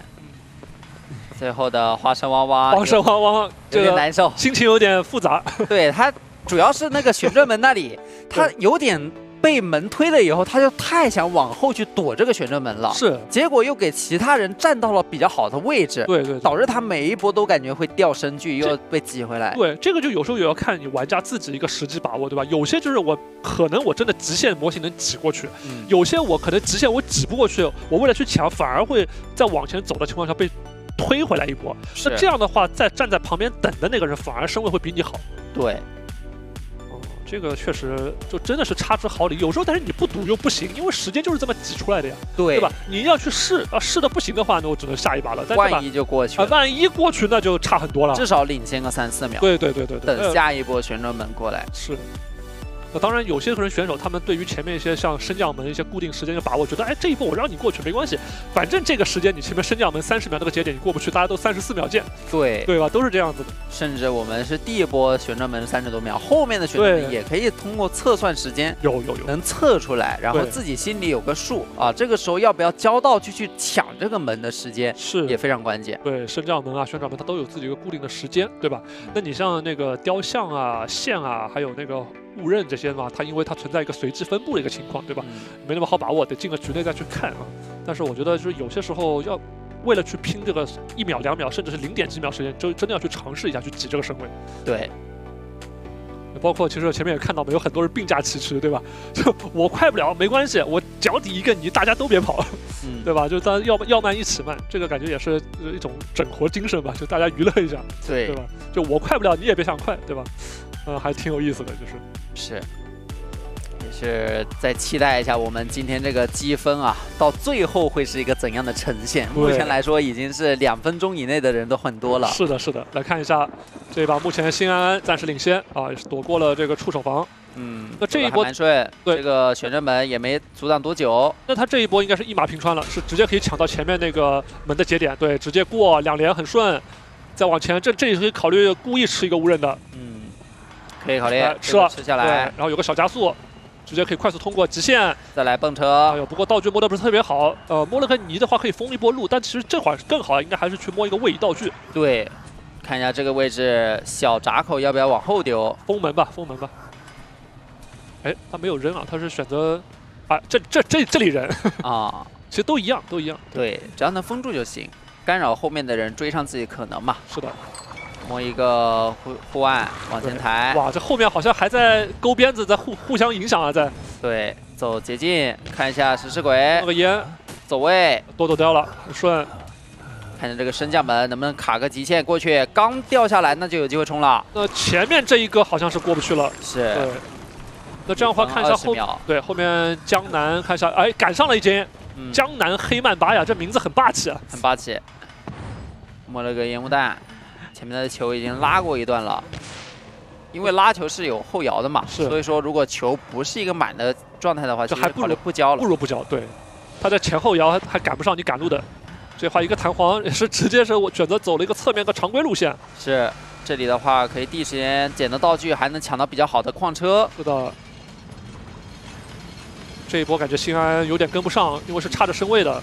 比手速，因为手速也有一个极限嘛。对对，啊，那你到达上限以后，大家还是一样的。是两分零二零三的样子啊！这一波也是江南黑曼巴后程追上啊。嗯，本来本我的包子。对，本来都感觉新安那一波应该是一马平川了，但是就因为一个升降门的关系，对，多等了一波。就也能测算出来，刚刚二十秒的时候，二十一秒左右这个升降门挡住了，那下次留个心眼就知道二十秒的时候可能是挡的。对，然后二十四秒的时候又开了，啊，这个也是能够通过我们多的一个积累经验去测算出来。对对。哎，你知道康哥，我前面想到一个好玩的事情，你知道是什么？就在我们这边，就是在那个前面一个积分拼时间的阶段，海选阶段刚刚出来的时候嘛，我们这边其实里边也有一些呃朋友主主播朋友之间也在说嘛，嗯这个模式两分钟以内跑不到的，两分钟以内能跑到都要后面再去查一下的。嗯，后来现在我们发现，好像两分钟以内那都是都已经是敲门砖了，都已经是对对？吧？当时真的一出来的时候都觉得说这个模式你怎么可能跑进两分钟，是很对吧？很怪啊，但是看了一下，确实有些人就是在这个嗯，运气上特别的顶尖，然后对对对再加上自己的技术扶持着，对，摸到一个好道具，也能够在一个合适的点交出来，这也能拉开差距。这个就真的很好的说明那个天时地利人和呀，对吧？就是我技术都大家都拉满的情况下，对吧？我最后再去拼一下谁这个道具更欧一点对对，而且你欧出来的道具，你也得知道什么节点、什么地方啊。交是最合适对，的。什么地方可以利用道具去抢一波时间的，对吧？这个就很有讲究了。就对，当然有些，呃，怎么说呢？就是我可能我比较欧吧。为什么我总是在领先？有时候起点抢到第一个吊绳，嗯，刚刚荡过去，刚刚进去，刚刚吃灵框背后一把枪过来，然后连吃两根触手，我倒了，那那基本上就是 走远了。破碎了。对，来看一下这一波啊，星系玩宝啊，红景城走的是侧面，对，这个时装也特别好看。这个是井中灵啊，那这个旋转两门，两分二八，哎呦，哎极限没有挤过去，那这一把，哎，不过还好，另外一边挤过去了。后面的人，也没过来，对，呃哇呀。连连吃两把枪，这个枪吃的有点奢侈啊，控制有点重叠哎，了。还倒了，哎呀，哎呀，那这个亏了亏了，信息完宝趁机赶紧冲过来，是故意吃了个双加速，但是又被人又被拉回来了，而且丢到了这个这个一定是故意的，我觉得。这个是甚至正好在两连线前面给他一波勾回来。对，丢到这个线里面，有个放人动作会 前面一个身位嘛，对对对对，太坏了。这样的话是 T T 压在一波乱战之后暂时领先，嗯，手里还有鞭子，后面能用上，这里再能用上。把护腕弹出来。可以弹右手边，对，这里的话应该是不能不会有失误的。啊，弹到边框，但没关系，小卡了一下吧。往前弹，两个鞭子，那上去以后其实有非常好的发挥空间。是的，这里看一下，哎，这里的话好像正好门能下来，对，是那这样的话就非常顺了，直接走前面，不等那个荡神，一波再弹开，前面的话直接可以续一个钩子赶路。对，哇，另一个钩子替换成球也更好。对，然后钩子有触发的一个条件，在球的话平地就可以拉。是的，然后再拉一波球，拉完球之后再弹一波，再走上面，这一波感觉时间会非常快。嗯，那也是因为他可能第一圈没抢到那个吊绳嘛，对所以说很难去突破我们两分钟。是的但，没关系，我们拿下第一就行。啊一波矿车摇过来之后，再是一个两连弹加一个加速，哎呦，但这里后失误了。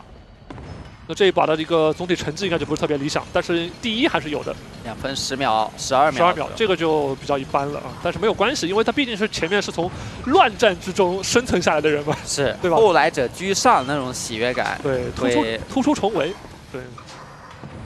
那确实啊，那种乱战里边真的有种生死难料的感觉，对？吧？你万一说再倒了一波，或者说是就像前面说，我人我人都过去了，我一波心系完保已经 心碎了，他后面不跑了，就是因为那一波他明明冲在第一，啊，然后被勾勾回来丢。到线里面直接倒地了。对对对对，这个就是还是比较难受的。是是是就我明明我都已经过去了，我怎么又回来了，是吧？对对对，所所以说，有时候跑到前面领暂时领先的玩家，他这种心理就是，我不怕你后面有枪，嗯我怕就怕我跟着我后面的人有鞭子，啊，特别特别慌，特别慌。因为有时候你又不能说随时随地我回头去看一下有没有甩着鞭子在追我这种，对对吧？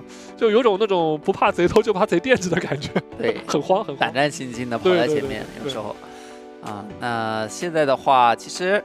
两分钟啊，还是比较难跨过去的一个坎，但是我们嗯能看到我们后面的一些选手，慢慢的、慢慢的都在往这靠近了。对对对，啊因为他最终成绩出来是个平均时间嘛，你不可能把把都都是两分钟以内的，那是不现实的。你可能偶尔一把，哎，我可能一分五十几，对吧？我能能帮你这个平均时间往前面去提一提，对呃，大的一个数据综合出来嘛。那大多数如果说能维持在两分零二左右这一圈，我觉得都是非常非常好的了。对，就我前面还看过这个时间榜上嗯，最快的有能到一分五十一秒的，这么快的，对我就很好奇，就很想看一看到到底是有多欧，嗯，教的多好这个道具。来，我们再来看一把小丑狂欢夜寂静啊，这种触手防是很有可能会出问题的，不过还好大家都躲过去了。那排名第一的老中医星宇，对，有时候你会发现人多的时候，你宁愿等一等，不要跑太心急，其实反而能够跑得快一点。万一倒地的话，那损失就不可估量了。对，好哎，直线通过楼梯，对，然后呃，第一的老中医还是个满状态啊，所以说可以故意去蹭一个线，是的，再往前。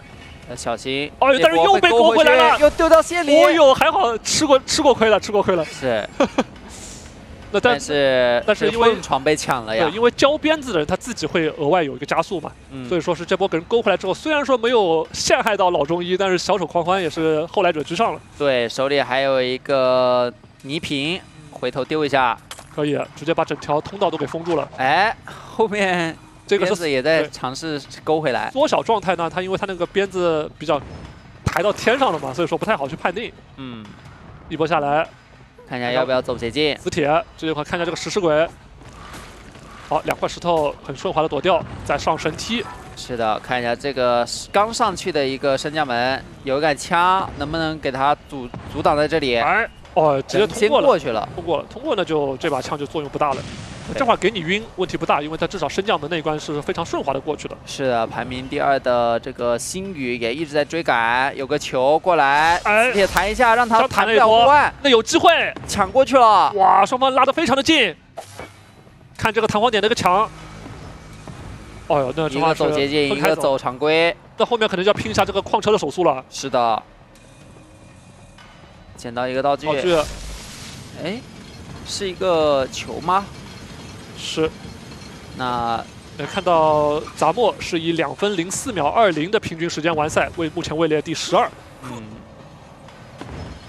这样的话，小丑狂欢是拿下这一局的第一。那老中医跟他是全程是怎么说呢？互相都不遑多让吧。那最后也是拿下了第二。对，不要再抚摸，也是两连护腕，直接冲线，清风藤。这边是 H E 啊，对，这个时装没关系，时装赢了已经。对，这个我们的虚虚妄杰作啊，时装上已经赢了一筹了，没关系，对吧？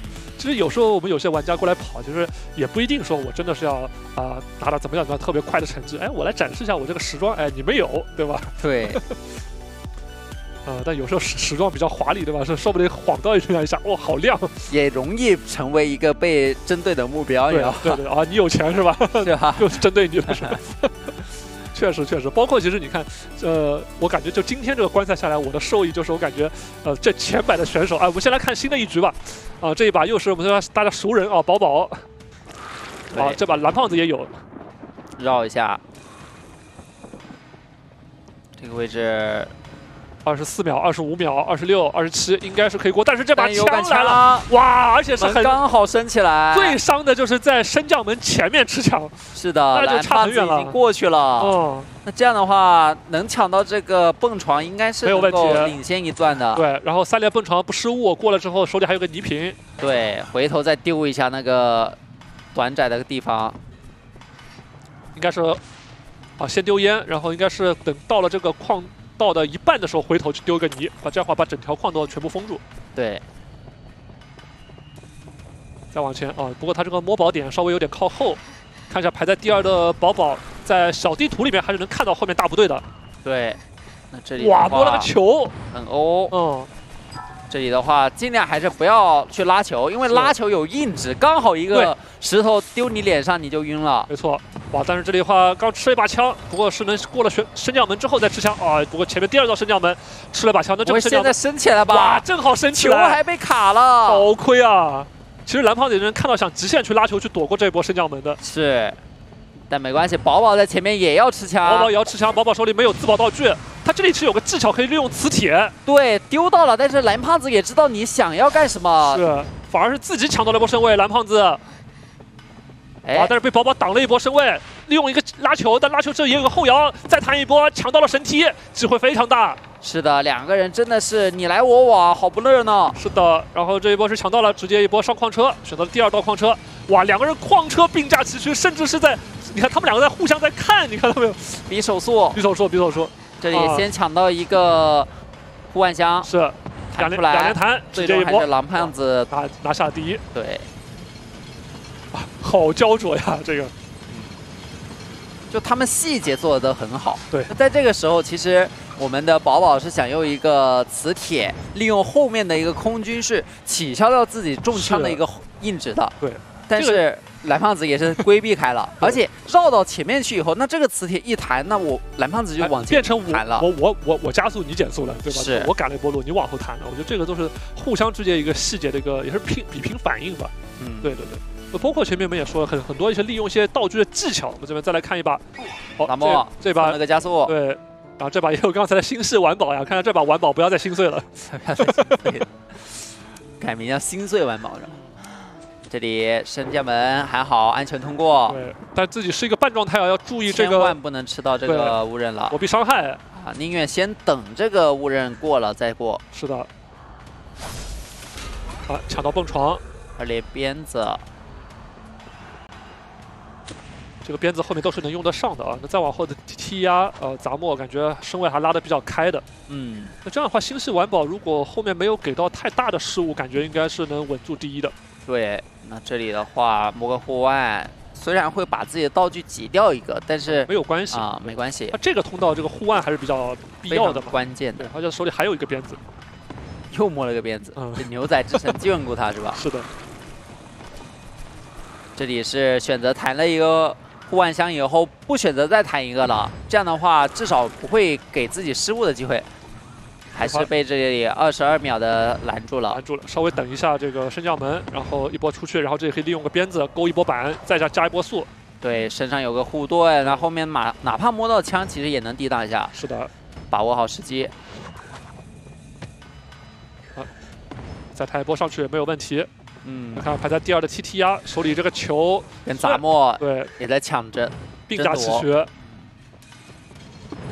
但是新系玩宝这边已经上了矿车啊，应该是没有太大问题，能拿下第一。是，时间方面，一分五十七、五十八，感觉能在两分钟以内吗？啊，两分零几，差一点点。对，而且冲线了以后还要吃一杆枪，是，这个时候无所谓，其随便你打嘛。对，快冲线的过程中，只要说我人跑得比你枪快，啊，对吧？只要说我最后能过线了，这把枪就对我没有影响，那就是一个绚绚丽的一个尾气啊，相当于是庆祝的一个烟花嘛。是对，相当于是变，本来是限制你的，变成了给你呃祝贺一下。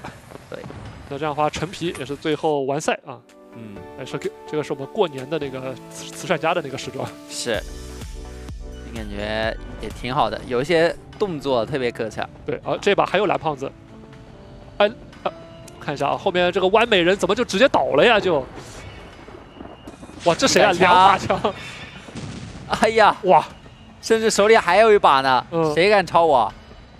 好，等一下线，啊，抢到蹦床，我，手里还有一把枪，他甚至可以有人跑到他前面开一把枪，对，再跑到他前面以后丢再个磁铁，磁铁对，再啊帮自己改一波路。看一下排在第二的清风藤，也是刚刚来到了这个洞穴，差了半个赛道的一个身位，嗯，他也一直在回头看，因为有鞭子，他注意到了清风藤手里是有鞭子的。对，哎，因为也是排名第一嘛，也是尽可能的先把自己的道具变成一个护腕赶路再说。好，两波都没有晕到。哎呦，清风藤好像在下面想走那个直道，但是失误了，嗯，是想摸那个弹簧点，没有摸，没有触发成功。对，那这样的话，ZHI 这位选手应该就能一一马当先。没错。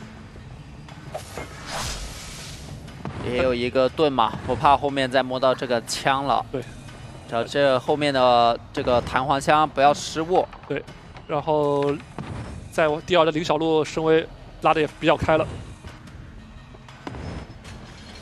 直接上矿车啊。那手里有盾，那后面有枪也没用，那一波领先应该是没有问题。就胖子他这个时候两个盾，他都有点拔剑四顾心茫然，对对对他都不知道这个盾用来干什么，谁会开枪打我呢？其实其实有时候最郁闷的就是领先的人摸枪，落后的人摸盾，对，就是想有力使不出来。那蓝胖子这一把好像这个成绩就不太理想了，是只能拿个第六了。摸了杆枪，但是好像已经都冲线了对，，也能也能完赛，也能完赛啊，可以。而且能看到蓝胖子他一直用的都是 GR 的这个冠军时装呀，对对，也是他自自己当时还在我们职业赛场的时候自己有使用过的。对对对，而且也是自己怎么说呢？GR 民宿啊、嗯 g r 民宿就用的这样一个有非常有纪念意义的一个时装啊。没错，嗯，那这么来看的话，其实也能看到吧。其实蓝胖子前面也有看到，啊、刚才横幅下面也说了，对吧？有好的时候，也有就是成绩不好的时候。嗯，对，因为每一把它确实是瞬息万变的，对吧？不同的关卡，呃，安排的一个顺序，啊，你是不是先有触手，先有雕像，还是说你到了后面，哎，有时候、呃、被对手一波勾回来，嗯，那种其实你都有时候你可以去防，但你也不能不能防到面面俱到的，对吧？就每一波可能都有一个潜在的风险。是的，真是这些道具的各种的这种叠加，其实让我们趣味性更上一层楼嘛。对对对对，就是它增加了更多的一个随机性和不稳定性。对，就万一说像前面什么什么连吃两把枪、三把枪都是有的。是，对，我们来看一下最新的积分榜。好，那现在排在第一的亚克是一分五十七秒五啊，第二名小可爱子求佛系是两分零零秒二零，第三名呃宣灵是两分零零秒五零，然后第四名的宝宝是两分零一秒，哇！你看，就前面说的呀，都到第一了，都已经两分钟以内了，都已经。对，前十四名都把自己积分拉满了，四十八。对，四十八就说明什么呢？就是你，呃，至少是六把都是第一，对吧？才有四十八分嘛。那当然，有些可能也是积累起来的。对，啊，这个平均时间都能跑进两分钟，太恐怖了。就是他们现在第十四名，我就只看第十四啊，两两分零八，其实都已经是我最好成绩了，已经是。那后面的话，其实还有这些四十六分呢，来看一下。对，四十六分就是你跑了，可能就是你那个呃名次吧，你有一把不是第一，这样。嗯，五把可能都是第一，有一把是第二的一个位置。是的，是的。杂莫的话也是目前排在一个十八名。对，杂莫其实你看他单人的一个成绩还是比较优秀的，两分零四，对吧？在在一个呃平均成绩里边已经算是不错的了。对的，那还有两分零七啊，就感觉多看几把，就感觉有些名字都是老熟人了。嗯，因为为什么呢？因为感觉跑在前面都是他们几个。对，刚刚观战的时候也很多有趣的 ID，我们会印象深刻一点。对对还有一个特别惨的，那个是吧？星系什么？对，后面能看到他。花生汪汪也是，对，那江南黑曼巴也是，老中医也是，对吧？就有些名字一一来一回生二回熟，大家都记住他们了。是，对，还有像蓝影，对吧？还有些名字比较有特色的，像是杨杨忠兴、潘沙龙，对吧？是 这个名字，这个字还念脑是吧？嗯，啊，我刚前面还查了一下，杨忠兴、脑、潘沙龙啊，然后他们他们俩最近也在联动嘛。对。啊，这边还有你看第四十八的这两分零八啊，嗯，星系晚宝排名第五十二，还好啊，嗯目目前这成绩我觉得还能接受啊，至少不是心碎完宝。对，刚刚是有点心碎，杨基也追上来了哎，，这个还有个高指哥，刚才低指哥，这还有高指哥，可能他们俩也是游戏好友吧。那就很厉害了。那游戏好友双双进前百，很厉害了。嗯，他们也前百的也可以互相研究一下，透露一下自己玩这个模式的心得，对对，共享一下，可能两个人会能研究出更好的一个点子来。是的，是的。当然到了七十二名，虽然说他这个积分不是特别理想嘛，但是他的成绩，呃，也还也还行，对吧？也有也有十几秒的，但大多数都到了二十多秒的。嗯，但是就有一说一，就是虽然说是有些靠目前暂时靠后的成绩不是特别理想，但是我们千万不要忘了，他们也是在前五天的这个第五层里边，曾经也是前二十。对对实力都不容小觑。我们也看到还有一些他可能选手把自己的呃这个啊，我们也是先再来看一把吧。是的，好，晚夜扶风，啊，暂时领跑。这边触手房应该是不会吃伤害的，速度非常快。那星系完宝也在，可以。那这好像二十五秒、二十六秒关键节点，看一下前面这一波，哎，哦，枪来了，还好挤过去了，看一下能不能醒过来，去第二道。哎，挤过去也了。过去了，那这把枪其实就吃的，就是对于前面人来说就还好，还好，对不，伤啊有时候他的判定就是你已经刚好踩到那个升降门要升起来，他会给你顶过去。啊。但有些人会给你挤回来，对对，这里还有一瓶加速酒，感觉还是挺欧的在。空中还做了个笑脸的表情，是，就想到了之前这个一秒六六个六个涂鸦的那个。还在还在给给给我们做动作，知道我们在看他。嗯，一个护腕弹出去，这个位置选择走捷径，手里有个泥瓶，看一下一会儿要不要过那个升降门的时候，给后面的人留一个惊喜。哎对，这话三连弹直接上去，是，但是高高指哥这个身位其实拉的还是有有点远了已经。嗯，哇，看到前面已经领先的扶风已经是过了升降门了。是的，而且刚好这个升降门升起来，对，再一波手里还有个鞭子，这里要不要左手边直接勾板子，不要弹这个护腕箱了？对，这一会儿如果后面没有枪的话，感觉就没有什么机会把晚晚夜扶风拦下来了。嗯，这个鞭子应该也是没什么机会用出来了。是的，啊。选择最右边的矿车，手速不能慢。对，这个时候是比拼这个突破自己数据的时候了。对高指哥这边也是刚刚上矿车，应该是拦不下来了，嗯还比了个耶啊，又比了个笑脸。我感觉这这位选手感觉手速可以啊，是，能在那么紧张的一个跑的过程中，还能给我们做点这种动作。哎，这个原地护腕了有点。这个你看他名字叫准头不行，他准头不行，感觉这个名字有点玄学啊，就是有时候弹护腕准头还是得得行的呀。得行。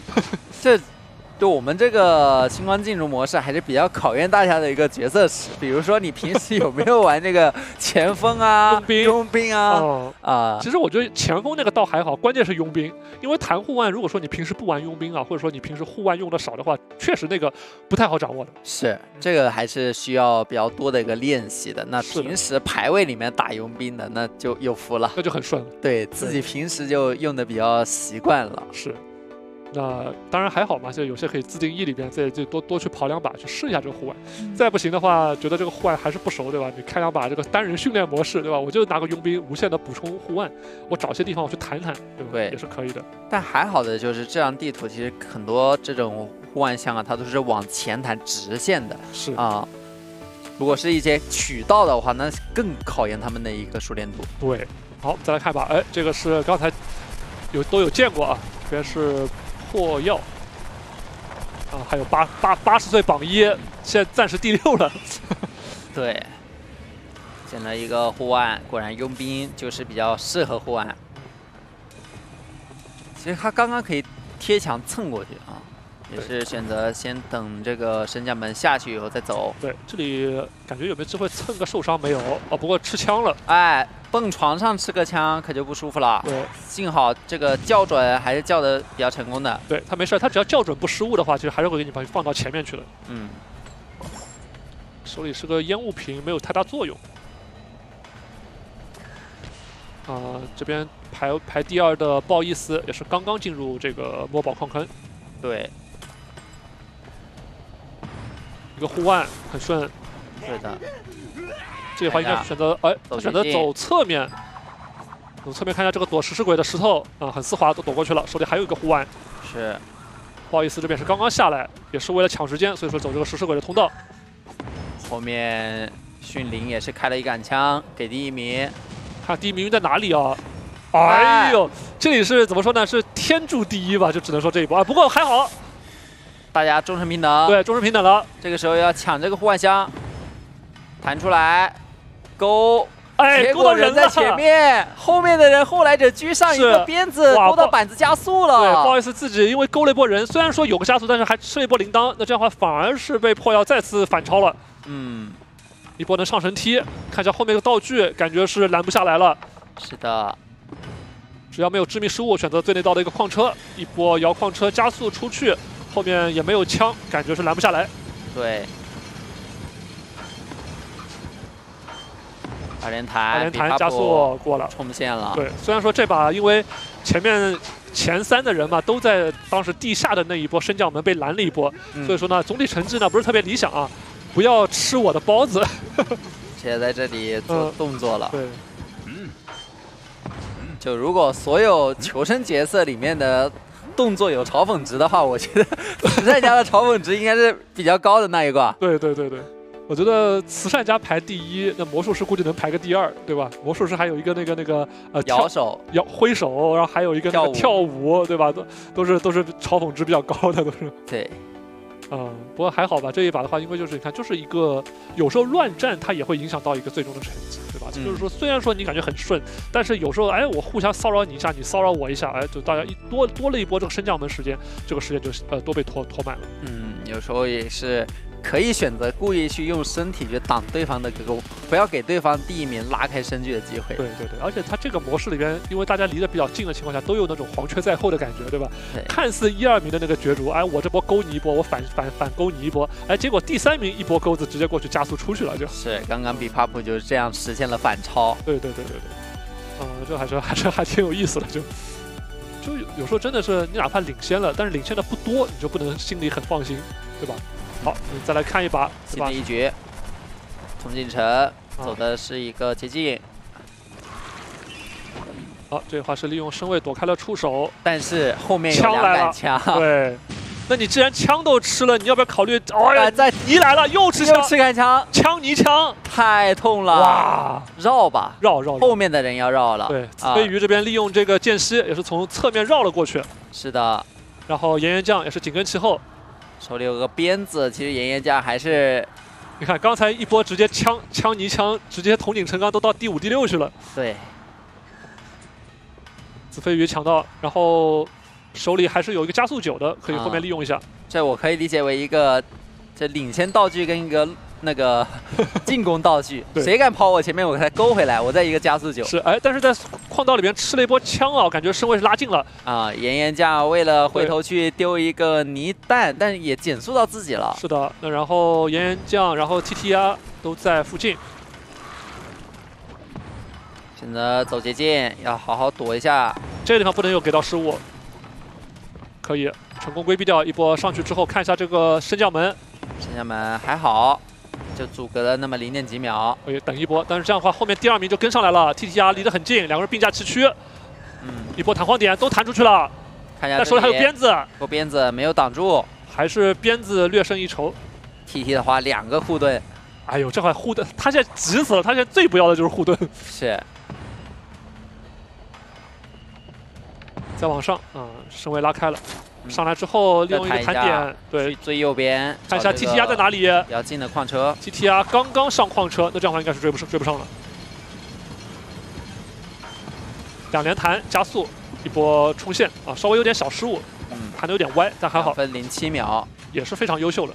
对的，TT 的话也马上冲线了。对，然后第三的低指哥，第四的岩将，啊，应该都能完赛的。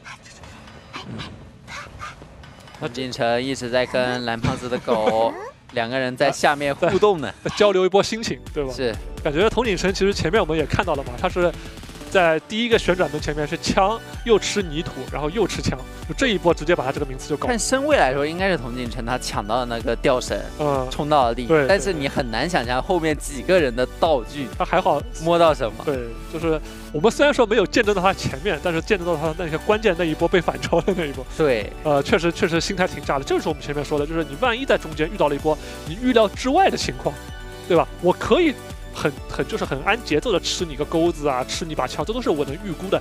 但是枪又减速又带枪，甚至有时候什么吃完枪之后又被勾回来一波，嗯，那种情况下你的节奏一定会乱的。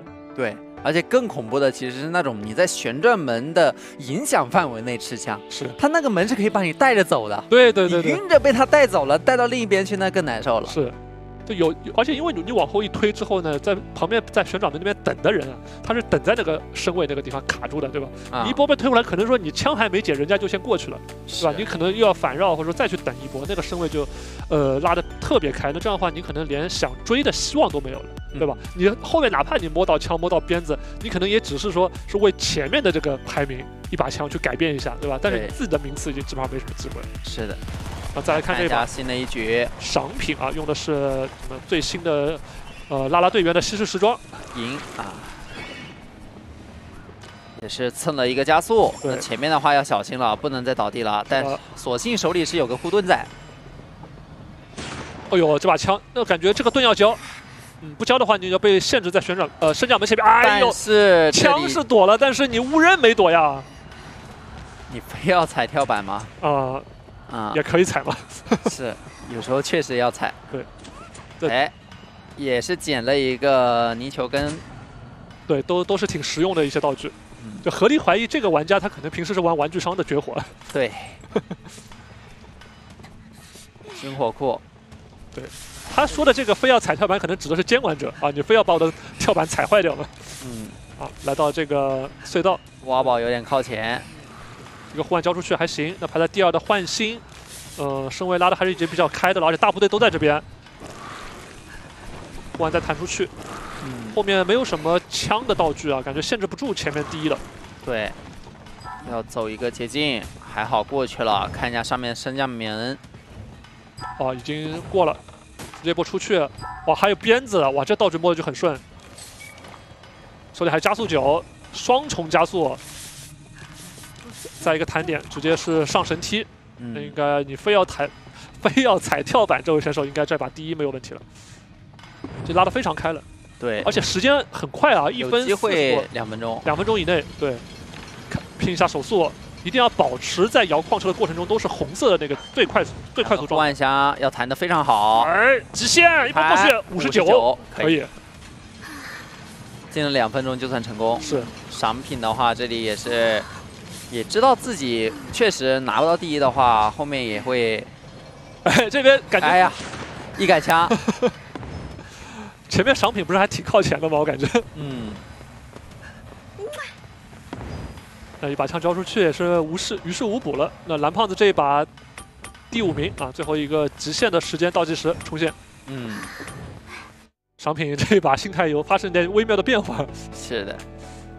后面确实赶不上的话，就选择干扰其他选手。对那我看到现在这次的这个咱们金华的这个呃，就是星光竞逐主题的一个时装嘛，也不管说是这个呃拉拉队员的这个一个西式，对吧？包括后面还有击球手的和这个邦邦的这些时装，感觉都做得非常好。包括其实这次空军的一个商城在售的，我感觉他们这次的这样一个时装的风格嘛，包括它故事背景的一个营造嘛，感觉做得还非常好的。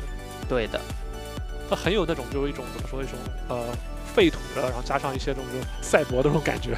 对对，就结合在一起，感觉还特别特别有自己的特色吧。还挺希望官方出一系列的这个故事背景啊啊。对对对，其实每次我们去细抠一些看故事背景还是挺丰富的。你看，包括像昨天我们刚看到的一个《精华二》的那个爆料，对吧？它又是有就比较有有我们咱们一些少数民族风采的一些时装、嗯一些元素的借鉴，包括今天刚出的一个，我看到一个使徒。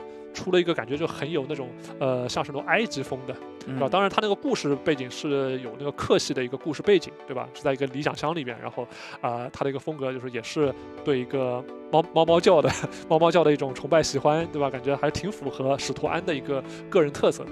嗯，感觉大家到时候后面出了之后也可以去入手一下，做的非常非常的精细，对，是，就也是能感慨咱们就是呃策划呀、美术，他们每次都在给我们想出一些新的一些主题的一些不同风格的一些时装。嗯，也是看很多我们的喜欢我们第五人格的，总能找到一款合适的时装，对，合适自己风格的时装去选择。古今中外的一些各种一些故事背景啊，一些神话故事啊，各种各种各方面吧。对像我们早些年的什么小红帽呀、龟兔赛跑这些也都有，对，对吧？有个那个冒险家的，啊，有个小乌龟先生，是，包括我们还有很多一些联动嘛，我们最近也都在跑酷过程中看到的，对吧？像之前联动的这个呃，我我我比较喜欢的那个像时光代理人的那个速散的那个，嗯，对吧？像还有些是呃最近的那个弹丸的一些联动的，对吧？是，像那个记者的，然后像那个呃几个角色吧，就感觉都还是比较丰富的，对吧？也是做的非常的美型。没错。啊，那今天我们也看了那么多多场比赛了，对啊，相信很多观众他们也手痒痒了。啊是，那我们来看一下最新的一个排行榜。好，那排在第一的还是亚克啊，是一分五十六秒八啊，然后第二名啊宣灵是一分五十八秒九四，第三的辛安安是一分五十九秒九八，第四的小可爱子求佛系是两分零零秒二零，哇，基本上你现在看到前十四名吧，最慢的也是两分零四。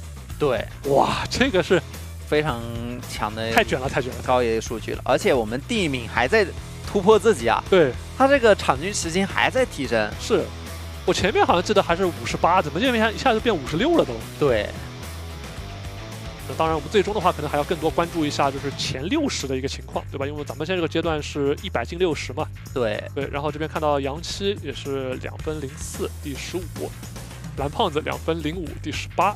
嗯，就看到他们排名前列的，他们时间也是越来越接近了。对，然后这边杂墨二十八名，两分零四秒二二零，哇，这都是非常快的。嗯，还有这个第一两分零二点五三。三十六名无限期限皮皮线啊，这也是应该是皮皮线的这个应援的粉丝啊，嗯，两分零六秒七零。对的。然后第四十八名这边看一下是呃李耀，两分零五秒六零啊，没错，都是非常接近啊。还有那个星宇 三十七名，有一些星系玩宝也在。咖哥，我我知道了，今天晚上你就最关心的就是星系玩宝，对，因为他这个名字就比较心细嘛，我现在也心细他，就现在有点心疼。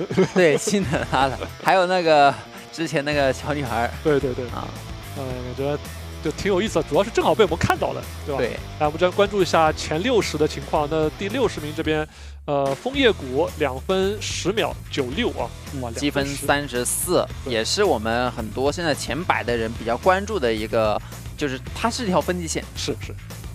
就我们就是之后三，就是接下来这三天嘛，包包括今天，对吧？其实呃，就是拼一个能不能挤挤进前六十。对，再看一下七十四，这里是两分十八，其实离得还是非常的接近的啊。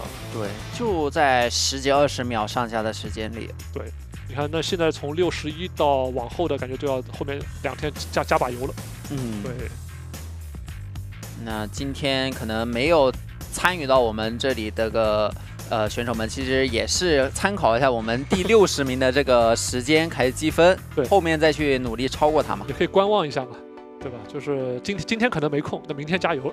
嗯，这样像我嗯，行行，那我们今天其实也是一种全新的体体验吧。对的我们，也是第一次解说这么一个竞速模式啊，也是感觉是呃，不管是收益啊，包括我们也收获了很多的快乐了。没错。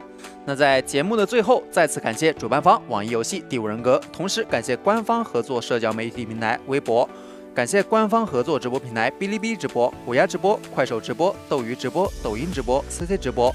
官方合作媒体人民电竞、有酒网、兔玩游戏、赛高电竞、有麦文化、超凡电竞对本次赛事大力支持。更多赛事详情，请关注第五人格官方微博。感谢屏幕前的观众玩家们今晚今今天晚上的陪伴。明天同一时间，我们将继续为大家带来本次星光竞逐挑战赛资格赛第二日的赛事直播，请大家持续关注我们的赛事，继续为您支持的选手加油。那么我们也是在明天的同一时间不见不散，拜拜。